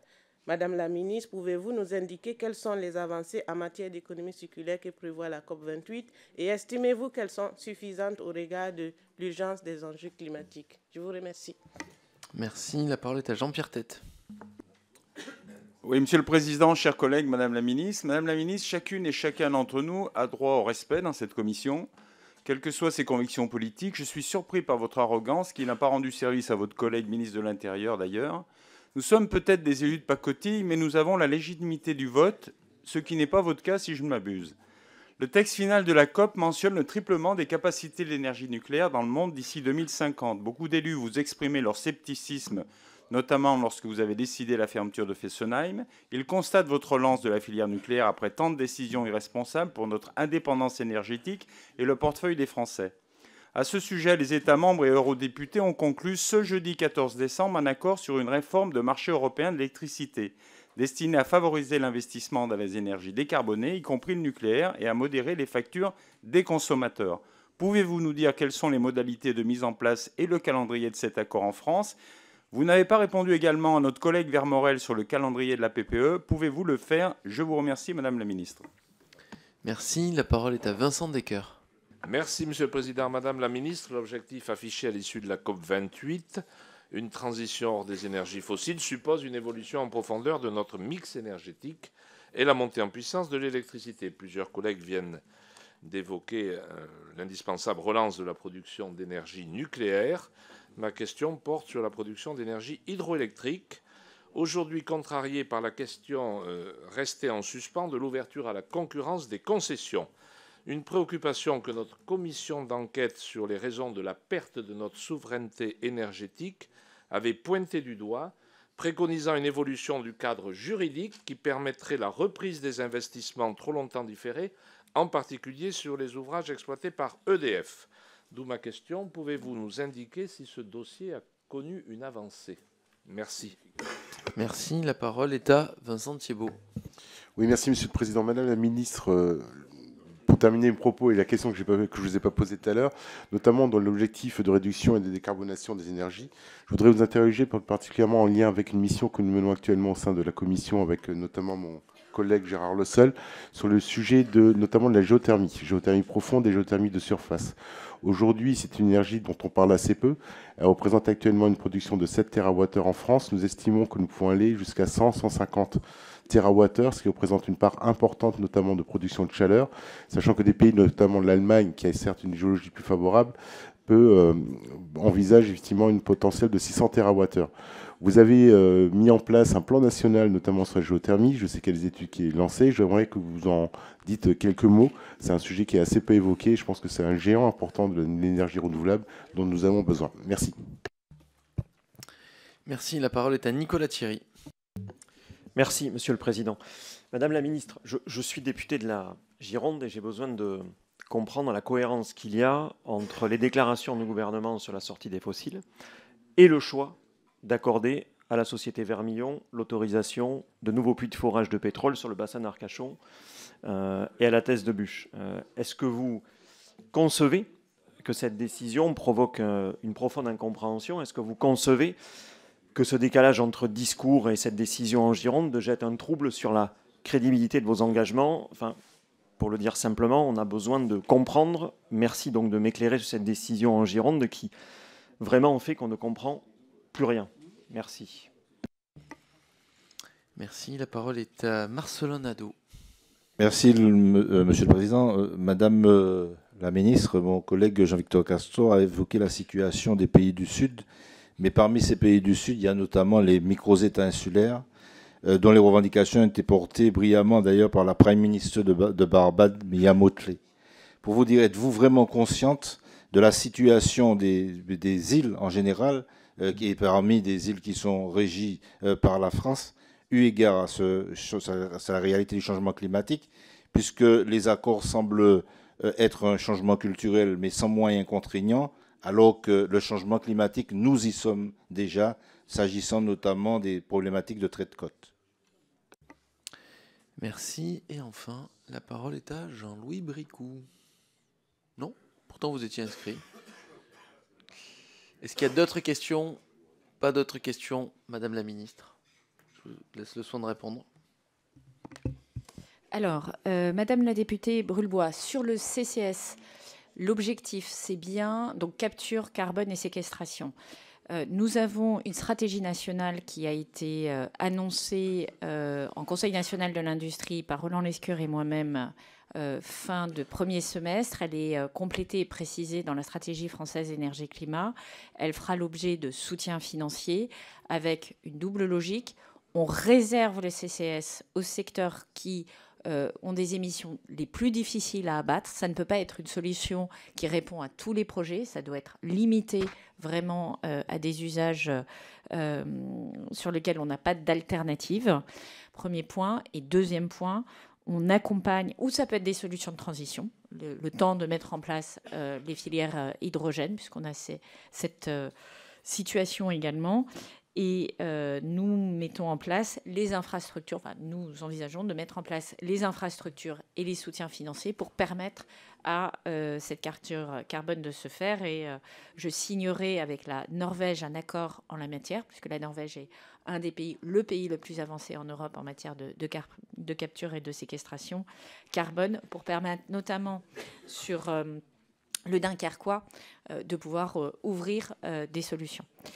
Euh, sur le One Water Summit, euh, Monsieur Hori avec le Kazakhstan, l'objectif c'est de faire ce que nous avons fait avec le One Planet Summit, le One Forest Summit, le One Polar Summit, euh, c'est-à-dire de cristalliser des coalitions de pays pour avoir des agendas complets qui permettent de répondre à des enjeux majeurs d'un point de vue climatique et sortir du seul problème de la baisse des émissions de gaz à effet de serre. Parce que se concentrer seulement sur la baisse des émissions de gaz à effet de serre, c'est passé à côté d'une partie des sujets. Et en particulier, je pense que tout le monde partagera ici que l'enjeu de l'eau est un enjeu géopolitique et euh, existentiel absolument majeur dans euh, la, le sujet de, la transition énergétique et écologique. Et donc, c'est tout l'enjeu de le faire euh, avec le, Kazakhstan à chaque fois qu'on prend des initiatives, l'objectif, c'est aussi de conjuguer euh, pays du Nord, pays développés et pays en développement pour donner de l'attraction à euh, nos initiatives. Et on peut le voir, le One Forest Summit est aujourd'hui suivi des faits. Euh, et c'est toute l'intention et tout le, poids que nous voulons, nous voulons mettre dans ce One Water Summit. Sur le charbon, Monsieur Adam, euh, la coalition qu'a bâtie le président de la République et qu'il élargit euh, à la faveur de, cette COP28, c'est une coalition qui vise trois choses. On a aujourd'hui asséché les financements publics au charbon. En particulier, euh, les pays du G7, c'est un engagement qui avait été obtenu, qui avait été beaucoup poussé par, la France. nous voulons assécher les financements privés au charbon. Premier élément. Deuxième élément, nous voulons élargir la coalition des pays qui s'engagent à ne plus ouvrir de nouvelles centrales à charbon. Troisième élément, euh, nous voulons trouver les modalités d'accompagnement des pays qui sortent et qui arrêtent des centrales à charbon. Pourquoi? Parce qu'arrêter une centrale à charbon, on le voit en France, dans les situations de Cordemais ou euh, de Saint-Avold. Ça veut dire mettre en place l'accompagnement social et la reconversion économique qui permettent de le faire. Et donc, pour un pays comme nous, c'est déjà pas si évident que ça et ça suppose des financements importants. Pour des pays qui sont confrontés à des enjeux de développement euh, et qui euh, ont une dette élevée, c'est encore plus compliqué. Donc là encore, tout le sujet, c'est d'apporter des solutions, ne pas juste être moralisateur en disant il n'y a qu'à Faucon. voilà, donc c'est un des éléments sur lesquels le président de la République s'est engagé. Euh, monsieur le député Flugit, sur l'exploration d'hydrogène naturel, j'ai signé les premières autorisations d'exploration. Tout l'enjeu est effectivement de mesurer, un, euh, de quel volume parle-t-on? Est-ce que c'est beaucoup? Est-ce que c'est peu? Deux, qu'est-ce qu'il y a derrière cette exploration? C'est-à-dire, est-ce que c'est une exploration qui nous donne accès à un hydrogène blanc, comme on l'appelle, en quantité importante et qui, euh, à un coût compétitif, nous permet d'alimenter euh, nos euh, filières industrielles, ce serait une très bonne nouvelle. Ce n'est pas une énergie renouvelable par construction puisqu'on l'extrait de nos sols, mais elle complémente tout ce qu'on est en train de faire. Donc ça, ce serait l'option très favorable. L'option défavorable, c'est qu'à la faveur des moyens d'exploration, nous contribuons à sortir du méthane qui est un des gaz les plus réchauffants euh, en matière climatique. Et donc, c'est qu'en fait, la balance euh, technologique ne soit pas bonne, technologique et, climatique ne soit pas bonne.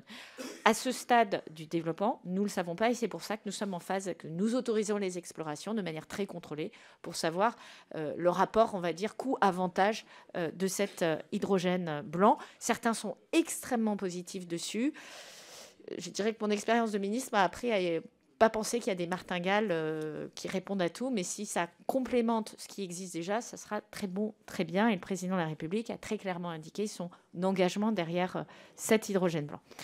Le décret agri-photovoltaïque. Je sais que c'est un décret qui soulève beaucoup de questions, euh, notamment par rapport à la question de la souveraineté agricole. Je le redis, je me suis engagée, et c'est ce qui est écrit dans la loi. Donc de toute façon, c'est écrit dans la loi, ça prend le pas sur toute mise en œuvre, le, le, juge le fera respecter, le développement de l'agrivoltaïsme ne doit pas impacter les rendements agricoles. C'est théoriquement le contraire. C'est théoriquement le contraire. Tout l'enjeu, c'est de de le faire de manière ordonnée et équilibrée. C'est ce qu'essaye de faire ce décret, qui ne peut pas aller sur la question du partage de la valeur parce que les législateurs, le législateur ne l'a pas permis. Euh, dans le partage de la valeur, on peut faire une petite ouverture compte tenu de ce qui est écrit, mais la question des bails ruraux pour les former n'est pas traitée par la loi accélération des énergies renouvelables. Et donc, il y a probablement un espace qui aujourd'hui est un angle mort de la loi et qui est à la, enfin à la rencontre de la question énergétique et de la question agricole, et qui est un vrai sujet pour le foncier. C'est en gros comment fait-on pour organiser le déploiement de l'agrivoltaïsme en ayant bien en tête que ça doit avoir. Et vous l'avez très bien écrit dans la loi. Je veux dire, la loi, elle dit tout à fait, pas question de baisser les rendements agricoles. Euh, il doit avoir un bénéfice agricole et donc de meilleurs rendements, etc., euh, pour permettre l'agrivoltaïsme. Mais nous savons tous que la loi peut être interprétée et qu'elle peut être, euh, qu'on peut en avoir un usage qui permet de la contourner. Et c'est ça qui inquiète un certain nombre d'acteurs et c'est une inquiétude légitime. Donc nous, on a travaillé très fortement avec les chambres d'agriculture pour mettre tous les encadrements possibles, avis conformes de la CDPNAF, ça c'est vous là qui l'avez fait, mais effectivement la notion du bail rural qui rémunéré quelques centaines d'euros sur une exploitation agricole et euh, vous avez des opérateurs qui arrivent en vous disant c'est formidable, faites des PV, un petit peu de moutons en dessous et ça sera quelques milliers d'euros par hectare. Ça pose un problème d'équilibre et je pense que c'est un sujet sur lequel nous devons collectivement travailler.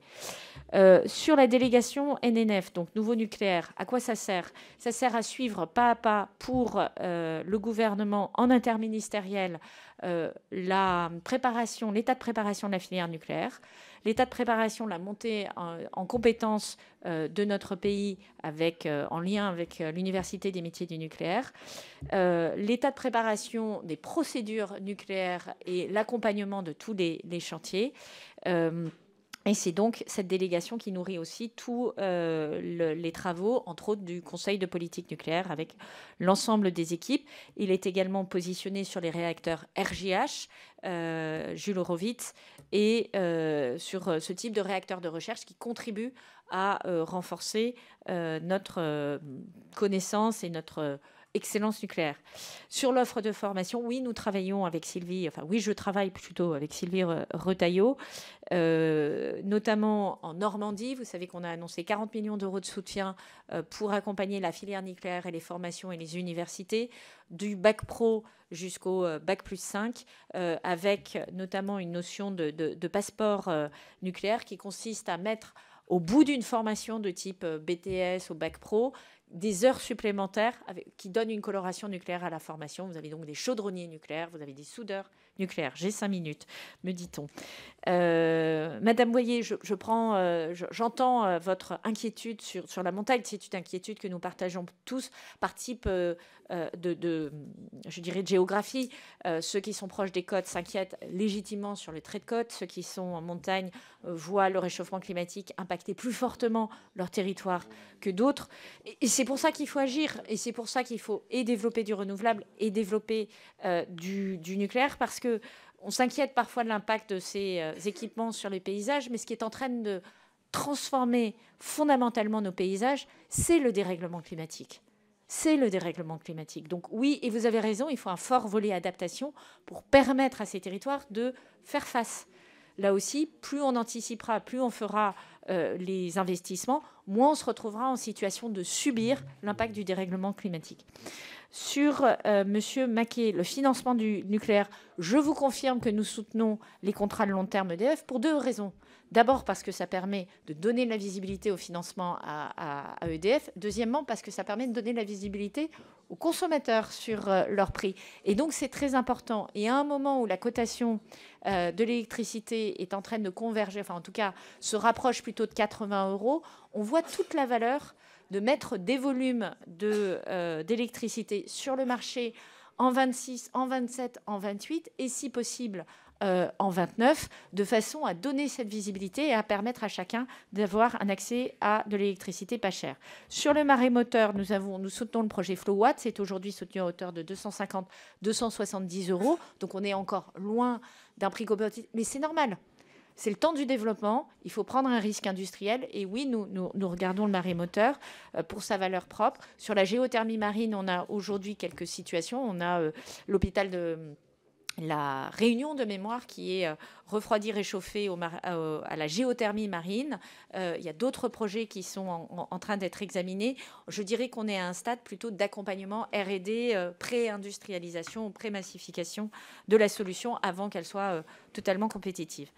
Sur oui, oui, le recyclage et, et, hum, Madame Téniave, donc ces objectifs, lorsque vous regardez la COP 28, vous avez un accord chapeau, mais vous avez des centaines de pages. Donc ce sont des éléments. Il y a eu un gros travail de fait quand même. Il faut le dire aussi de la présidence pour faire rejoindre les agendas climatiques et biodiversité et l'ensemble des ODD dans un texte unique avec euh, une sorte de d'agenda de travail climatique et biodiversité, dans lequel vos préoccupations sont mentionnées. Euh, monsieur euh, le député Tête, euh, si j'ai fait preuve d'arrogance, je m'en excuse, mais euh, je mentionne aussi que je pense que politiquement, il est intéressant de pointer certaines incohérences dans certains discours, et c'est à ce titre, et je n'évoque que des chiffres. Quand on dit que les émissions de gaz à effet de serre augmentent en France alors qu'elles baissent de 4,6%, c'est un chiffre factuel. Quand on dit qu'on soutient les énergies renouvelables et qu'on ne souhaite pas voter une loi qui accélère les énergies renouvelables, c'est factuel. J'espère que euh, mon propos n'a pas dépensé cette, pensée.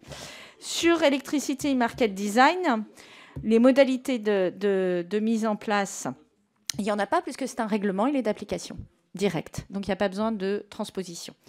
Euh, sur le calendrier euh, PPE, nous avons une loi de souveraineté énergétique qui doit être présentée dans les prochaines semaines. Vous savez que nous y travaillons. La stratégie française énergie-climat a été soumise à la concertation euh, et donc tout à chacun peut y répondre. Et le programme, la PPE, suit derrière et donc c'est un enjeu de l'année 2024. Ah pardon, non, j'ai une deuxième page. Sur l'hydroélectricité. Euh, pardon, monsieur le député des j'en ai encore quatre. Sur l'hydroélectricité, euh, nous travaillons, euh, vous avez, je crois, auditionné récemment, mais plutôt en commission d'ailleurs, à côté, Affaires économiques, Luc Raymond a une approche d'autorisation. Elle est en discussion aujourd'hui avec la Commission européenne. Donc oui, il y a des avancées, mais le scénario final, n'est pas ficelé. Euh, Monsieur Thiebaud, sur la géothermie, euh, je vais annoncer un deuxième volet du plan géothermie cette semaine. Je suis pas sûre qu'il fasse la une des journaux, puisque d'autres choses le font, mais euh, l'enjeu est évidemment d'accélérer sur la géothermie. Là, les deux points bloquants, c'est clairement la structuration de la filière industrielle et c'est les compétences, et notamment les compétences de forage. Et donc, mais voilà, il y a une question d'accélérer ça, de monter en, en taille. Monsieur Thierry, euh, la sortie des fossiles, c'est nous qui l'avons voté. C'est ce gouvernement, enfin pas ce gouvernement en l'occurrence, c'est le précédent quinquennat, mais c'est euh, sous le quinquennat euh, du président Macron que la sortie des fossiles a été votée. Nous ne donnons plus de permis d'exploration et de production sur les énergies fossiles.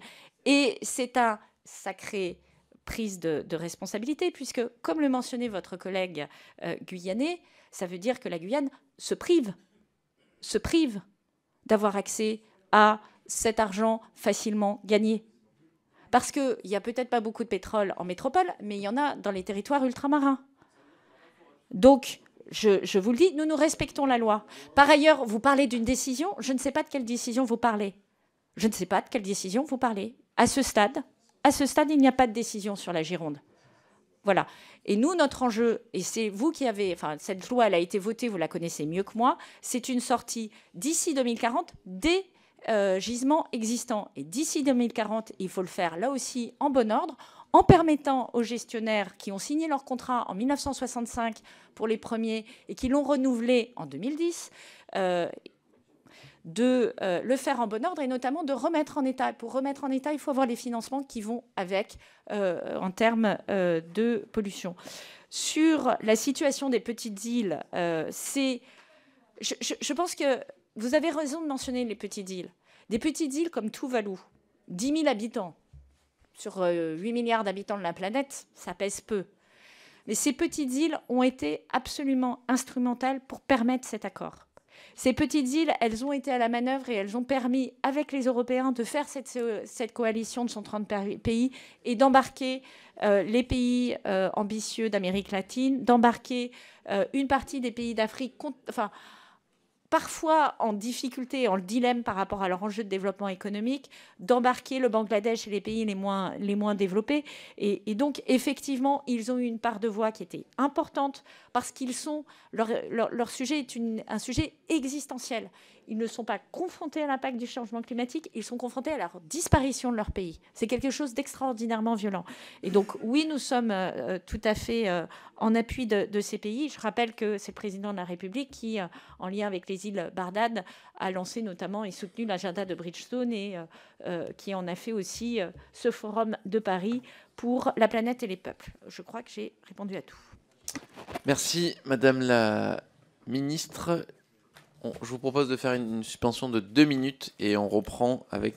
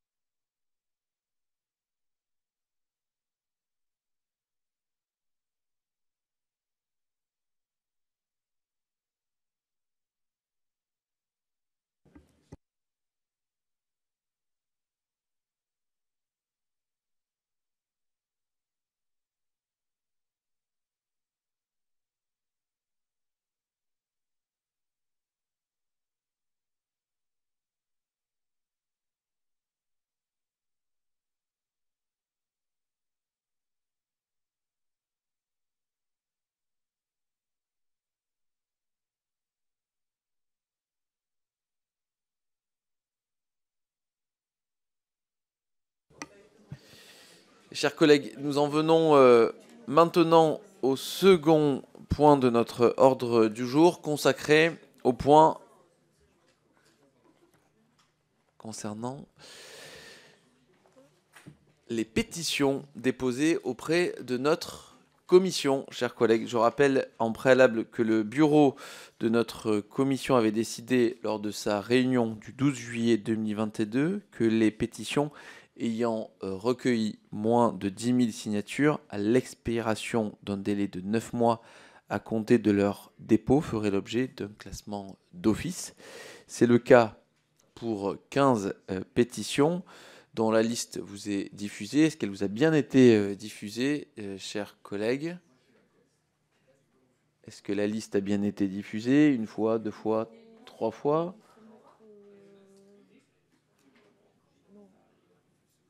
Nous diffusons la liste. Parfait, très bien. Donc voilà les 15 pétitions en question euh, qui euh, euh, n'ont pas reçu les 10 000 signatures en question. Vous pouvez en prendre connaissance. Elles sont donc, conformément à la décision de notre bureau, classées d'office. Vous voulez prendre 30 secondes pour les lire. Je vois une attention particulière sur ce tableau. Mais vous le recevrez par email sans difficulté, puis vous le trouvez sur le site de l'Assemblée nationale. Mais dans tous les cas, on vous le transmettra sans difficulté. J'en viens à la pétition intitulée Abandon d'un projet d'autoroute Toulouse-Castres A69 à 680, déposée le 7 novembre 2023 et qui a pour sa part dépassé le seuil des 10 000 euh, signatures, conformément à l'article 148 de notre euh, règlement. Nous avons désigné une rapporteure, Madame Huguette Tchegna, pour décider euh, aujourd'hui ensemble si nous classons ou débattons cette pétition. Sans plus tarder, euh, je vais laisser la parole à Madame Tchegna en rappelant que aujourd'hui, le seul sujet qui doit prédominer, c'est le sujet de classer ou pas la pétition. Et je me suis exprimé publiquement sur le sujet. J'espère que euh, on s'exprimera euh, positivement pour donner suite à cette pétition et le projet en tant que tel sera débattu dans un second temps. Voilà, Madame la rapporteure, la parole est à vous. Merci, Monsieur le Président. Chers collègues, comme vient de l'indiquer notre Président, nous devons répondre aujourd'hui à une question. L'Assemblée nationale a reçu une pétition signée par 49 749 citoyens au décompte d'hier après-midi.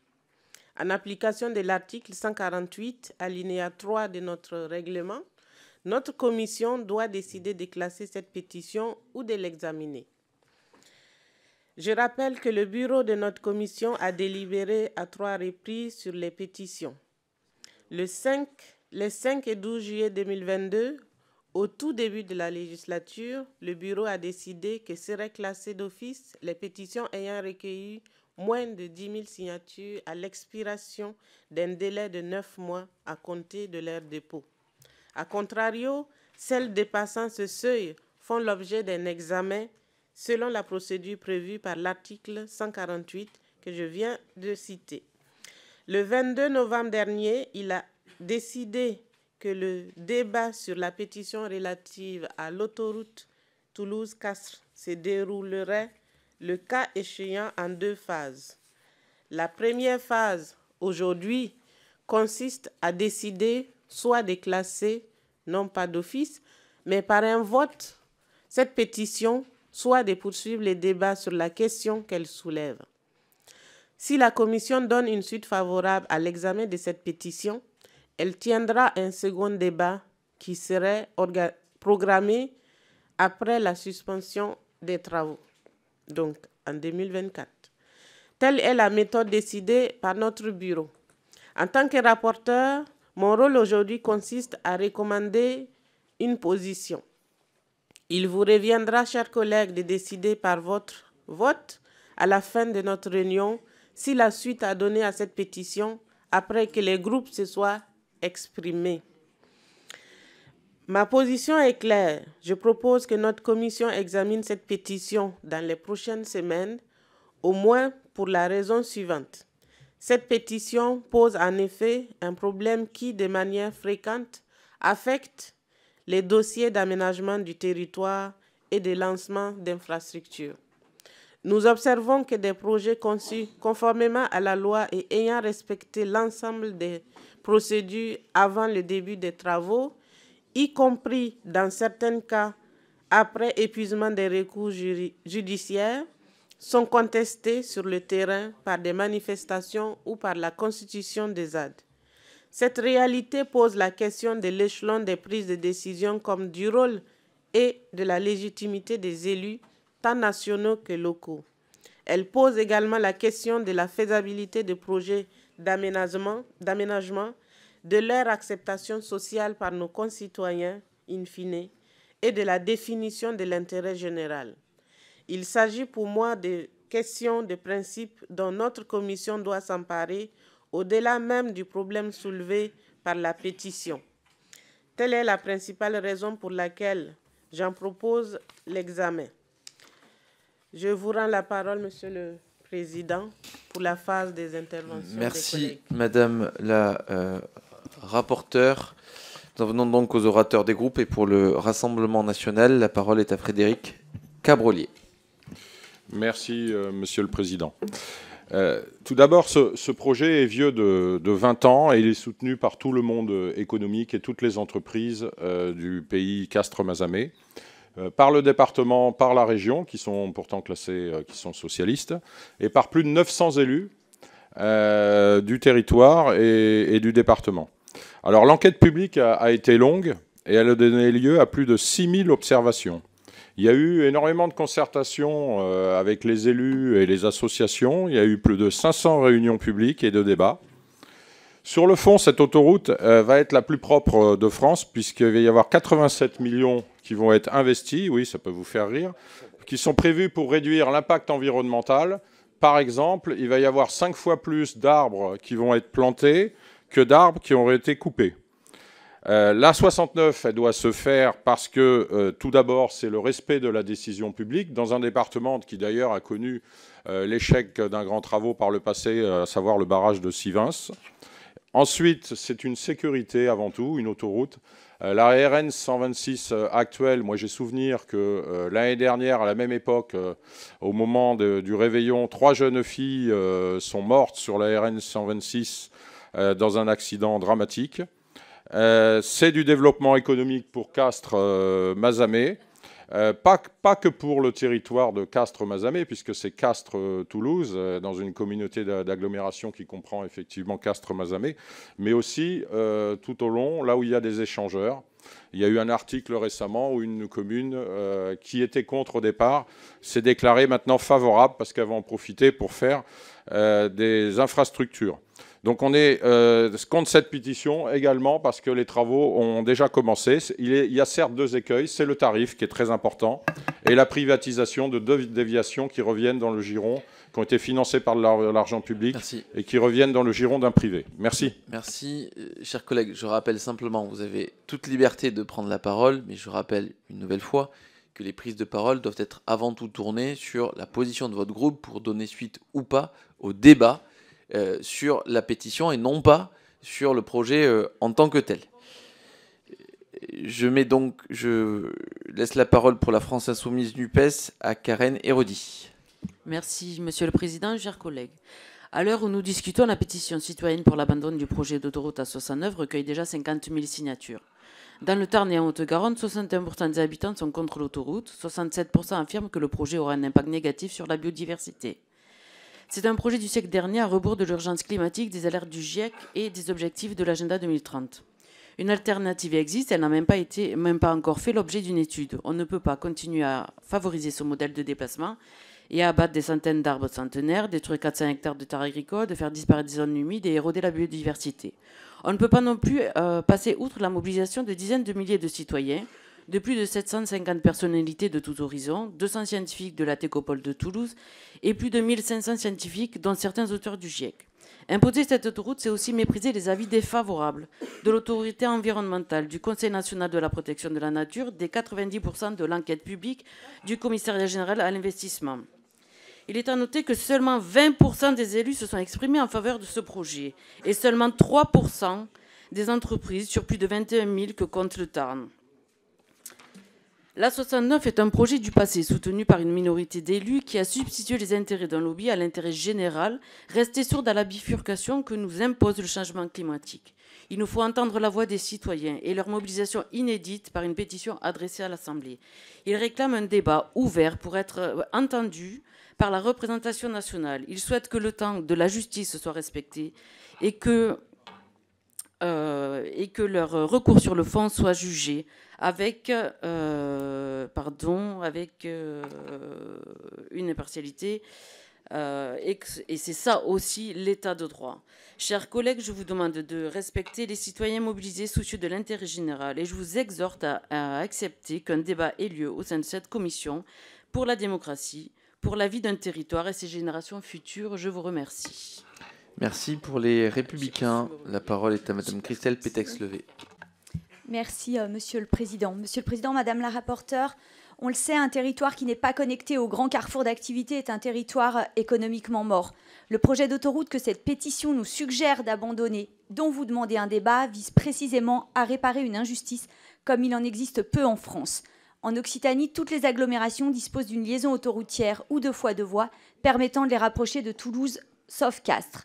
Très attendu localement et classé priorité nationale, ce projet va mettre le sud du Tarn à moins d'une heure de la ville rose et améliorer la sécurité routière sur l'axe reliant ces territoires. Les arguments pour discréditer ce projet sont connus et émanent souvent des gens extérieurs au territoire qui ont déjà accès à une autoroute, mais refusent aux autres la chance d'en bénéficier. Je ne vais pas épiloguer, les débats ont déjà eu lieu pendant des mois, pendant des années. Donc sur Castres-Toulouse, on ne refait pas le match. Je vous remercie. Merci pour le groupe euh, démocrate modem et indépendant. La parole est à Florence Lasserre. Merci, Monsieur le Président, mes chers collègues. Je voudrais débuter par préciser au nom de mon groupe démocrate, modem et indépendant qu'il nous apparaît sain que nos concitoyens puissent nous interpeller sur certains sujets d'importance au travers de ces pétitions, bien que le sujet demeure ici assez localisé. Nous le voyons dans nos différents territoires, les contrats État-région récemment signés sont amenés à financer principalement des infras ferroviaires pour concourir à un aménagement durable et équilibré de nos territoires. Pour autant, ces investissements concernent également parfois des routes dans un objectif commun d'accompagner le développement économique de nos régions. Aussi, notre groupe soutiendra la tenue d'un débat à la rentrée sur ce projet autoroutier. Il est bienvenu que notre commission puisse échanger sur l'aménagement de nos territoires et notamment des zones les plus éloignées des métropoles qui demandent des infrastructures plus performantes afin d'assurer leur développement économique. Ce débat est amené à questionner bien évidemment l'impact environnemental du projet. J'espère qu'il permettra également de mettre en avant les besoins et concertations des acteurs des territoires concernés afin que chacun puisse voir les enjeux de l'aménagement de cette région. Je vous remercie. Merci pour le groupe Horizon et Apparenté. La parole est à Vincent Thiebaud. Oui, merci Monsieur le Président, Madame la rapporteure, mes chers collègues. Ce projet euh, fait très débat. Il a fait euh, notamment l'objet de nombreuses décisions politiques et judiciaires qui vont dans le sens de la poursuite de ce projet. Toutefois, nous avons été saisis euh, au niveau de l'Assemblée par cette pétition pour qu'il y ait un débat au sein de, de notre commission. Euh, sans remettre euh, en question et sans rentrer dans le détail de ce projet, euh, il me semble sain effectivement que la commission, il nous semble sain en tout cas au sein d'Horizon et apparenté, que ce débat puisse avoir lieu au sein de la commission, d'avoir un débat éclairé, en espérant aussi objectif et pragmatique. Donc nous voterons favorablement pour l'ouverture de ce débat. Merci. Pour le groupe écologiste NUPES, la parole est Madame, Madame Christine Arrigui. Oui, merci Monsieur le Président, merci Madame la rapporteure. Euh, en fait, ce, projet, on le sait puisque ça a quand même été bien débattu, c'est une aberration écologique, 400 hectares de terres arables, quand on parle de souveraineté alimentaire, qui vont être vitrifiés. Ce sont des arbres abattus centenaires, et c'est pas parce qu'on a abattu un arbre centenaire et qu'on le remplace par cinq qui devront être arrosés que ça fera une forêt. C'est une aberration sociale. 20 euros aller-retour Toulouse-Castres, 20 euros par jour, soit combien? 100 euros par semaine, soit 400 euros par mois. Et c'est comme ça qu'effectivement, on veut euh, soutenir le territoire de Castres, parce qu'on estime que les gens pourront faire Toulouse-Castres et payer 100 euros par mois en prenant l'autoroute. Vous l'avez signalé également avec euh, la privatisation d'une partie d'une RN 126, déjà en deux fois deux voies, qui va être intégrée dans l'autoroute et donc privatisée.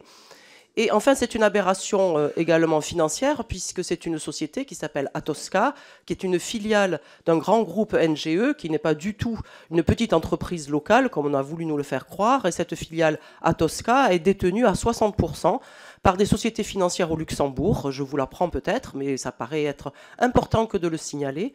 Et donc, pour ces trois raisons, effectivement, il est important que de réexaminer ce dossier. Alors il est important, particulièrement en commission développement durable, parce que comme vous l'avez dit très bien, Madame la rapporteure, il est important de revisiter aujourd'hui, en 2023, euh, les grands projets inutiles qui ont été décidés il y a 30 ans par des élus qui est peut-être convaincus à l'époque que c'était bon pour leur territoire, mais je signale euh, que euh, Albi a un taux de pauvreté supérieur à Castres, et pourtant c'est relié par l'autoroute, et que Pamiers a un taux supérieur de pauvreté à Albi et à Castres, alors que c'est relié par l'autoroute. Et donc la déduction que vous faites que parce qu'il y a une autoroute, ça va dynamiser un territoire, est contredite à la fois par les chiffres et par les géographes.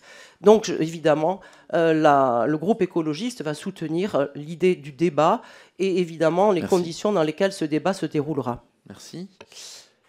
Euh, la parole est à Jean Terlier pour le groupe Renaissance. Merci, Monsieur le, Président. Alors effectivement, nous sommes euh, ici en commission pour euh, apprécier la, recevabilité de, la pétition intitulée Abandon du projet de, la 69. Alors en, préambule, et vous avez fixé effectivement les, les conditions de cette recevabilité au terme d'une pétition qui a recueilli plus de 10 000 signatures. Euh, on, est évidemment euh, favorable à ce débat, mais on se pose quand même un, certain nombre de questions, puisque euh, à, l'écoute de, ce que nous peuvent dire nos collègues, on est déjà dans la remise en cause de, ce projet de l'autoroute à 69. Et je tiens à dire que ce n'est pas un projet, c'est un chantier. Aujourd'hui, c'est 40% des travaux qui sont engagés sur le chantier. donc ça n'est n'est pas un projet, c'est un chantier. Et je ne voudrais pas que ce débat et les conditions dans lesquelles ils seront fixés laissent à penser que ce chantier autoroutier puisse être remis en cause. Euh, ce débat, ce ne sera ni l'arrêt du chantier de l'autoroute A69, euh, ni euh, l'abandon des travaux. on est dans le cadre d'un débat qui, dont vous devrez fixer les règles, mais qui évidemment ne permettra pas aux législateurs de se substituer d'une part au processus démocratique qui a abouti à la réalisation de ce chantier routier, et d'autre part aux juridictions administratives qui sont saisies d'un contentieux sur l'opportunité et la légalité de ce chantier. Sur le processus démocratique, je me permets de rappeler ici euh, à la Commission que euh, ça a fait, ce chantier euh, a fait l'objet d'une déclaration publique en 2018, a fait l'objet d'un financement dans le cadre de la loi L'Homme en 2019 qui fixe les, les financements de l'État, un contrat de concession en avril 2022, une autorisation environnementale en mars 2023 et un arrêté d'autorisation préfectorale de commencement des travaux en mars 2023. C'est l'ensemble des collectivités territoriales et de l'État qui s'est exprimé de manière démocratique pour dire euh, que ce projet autoroutier, qui est aujourd'hui un chantier, euh, devait se poursuivre. Sur le processus démocratique, sur ensuite euh, le respect de l'état de droit. Enfin, le législateur ne peut pas se substituer aux juridictions administratives. Nous n'avons pas, nous, ici, dans le cadre du débat que nous aurons, et qui est souhaitable, effectivement, à nous substituer aux juridictions administratives pour déterminer la légalité de ce, projet qui est aujourd'hui un chantier. Encore une fois, je le rappelle, il y a des contestations qui sont pendantes devant les juridictions administratives, devant euh, le Conseil d'État notamment, et qui ont abouti, pour quatre retours d'entre eux, à un débouté de la part des associations qui sont opposées euh, à ce chantier autoroutier. Donc, vous l'avez compris, Monsieur le Président, Madame la rapporteure, je ne voudrais pas que, à travers ce débat, on laisse à penser qu'il y aura une remise en cause du projet de l'autoroute A69. Très bien. La parole est à Madame la rapporteure, s'il n'y a pas d'autres orateurs de, de, groupe. Madame Jourdan, je vous en prie. Et Merci, Monsieur le Président. Voilà. Euh, Madame la rapporteure. Nous discutons donc aujourd'hui de l'opportunité pour notre commission d'examiner ultérieurement la pétition du 7 novembre 2023, abandon du projet d'autoroute Toulouse-Castres A69 à 680. Cette pétition a rassemblé en peu de temps un nombre significatif de signatures. Ce projet porté par les collectivités locales depuis plus de 20 ans pour répondre à une problématique d'attractivité est interrogé. Aujourd'hui, il suscite diverses réactions au regard des enjeux écologiques et de réflexions à mener sur de nouveaux modèles de développement. Un débat public est engagé avec une forte mobilisation de la société civile et des élus. Cela témoigne de l'importance que revêt ce sujet pour nos concitoyens et des préoccupations qu'il soulève. Avec les socialistes et apparentés, nous considérons qu'il est légitime et pertinent que la représentation nationale porte une attention particulière à une initiative citoyenne d'une telle ampleur. Par ailleurs, ce sujet soulève des questions socio-économiques, environnementales, liées à la mobilité, au développement des infrastructures de transport, à la protection de la biodiversité et la réduction des émissions de gaz à effet de serre. Ces sujets relèvent précisément du champ de compétences de notre commission. Il est donc pertinent qu'un débat démocratique sur cette pétition y ait lieu en s'appuyant sur l'ensemble des données scientifiques aujourd'hui disponibles et en prenant compte les besoins locaux. Je vous remercie. Merci. La parole est à Monsieur Nadeau pour le groupe Gauche démocratique et républicaine. Merci, Monsieur le Président. C'est vrai que notre groupe est constitué à la fois de, d'élus des dix outre-mer et, de, de, communistes, mais je dois dire quand même que, étant partisan de la défense du vivant, rien, rien de ce qui concerne le vivant ne m'est étranger pour euh, paraphraser Camus s'agissant des humains. Alors, c'est bien en tant que euh, représentant du groupe GDR que je prenais la parole pour dire que la position des communistes est connue quant à l'opposition à cette autoroute pour plusieurs raisons. Les raisons effectivement écologiques évoquées, mais effectivement les raisons euh, de choix faits sur euh, l'investissement dans des autoroutes et leur privatisation, d'autant que, comme ça a été dit par des collègues, des éléments d'infrastructure publique seront intégrés dans ce projet de privatisation. Bref, nous sommes pour le débat et évidemment opposés à ce projet-là. Voilà, merci. Madame, pour le groupe, euh, attendez, juste pour le groupe indépendant Outre-mer et Territoire, Monsieur Bricou, vous voulez dire un petit mot ou pas? Pas de mots. Très bien, Madame la rapporteure. Merci, euh, Monsieur le Président, chers collègues, euh, pour vos différentes euh, interventions. Je constate à ce stade qu'il y a une large consensus pour un deuxième débat. Cela va bien sûr dans le sens de ma proposition.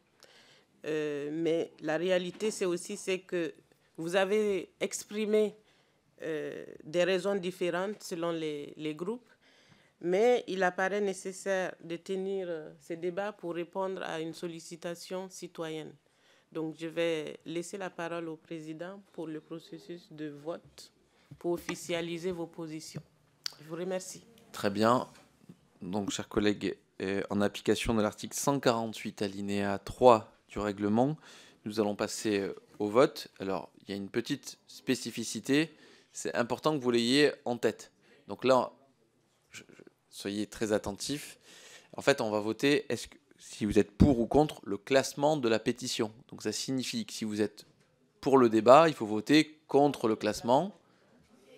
Et si vous êtes contre le débat, il faut voter pour le classement. Est-ce que c'est compris? Vous voulez que je, que je reprenne les explications? Très bien. Alors, avant de passer aux voix, je vois qu'il y a monsieur. Non? Après. Très bien. Donc, chers collègues, en application de cet article 148 alinéa 3 du règlement, nous allons passer au vote, qui est pour le classement de la pétition. Donc 1, 2, 3, 4, 5, 6, 7, 8, 9, 10. Qui est contre le classement de cette pétition? 1, 2, 3, 4, 5, 6. Cette pétition n'est donc pas classé. Il y aura donc un débat début d'année prochaine, chers collègues. Attendez, avant de partir, avant de partir, Monsieur Jimmy Pain voulait prendre la parole. Oui, merci Monsieur le Président. Je voulais juste vous souhaiter à tous de belles fêtes de fin d'année.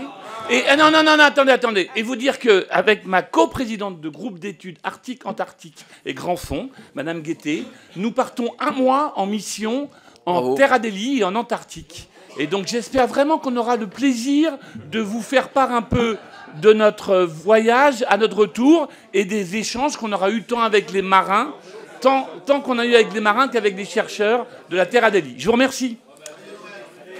Merci, euh, chers collègues. Je vous. Attendez, attendez, attendez, attendez, attendez. Et, et, et s'il vous plaît. Euh, s'il vous plaît. Chers collègues, s'il vous plaît.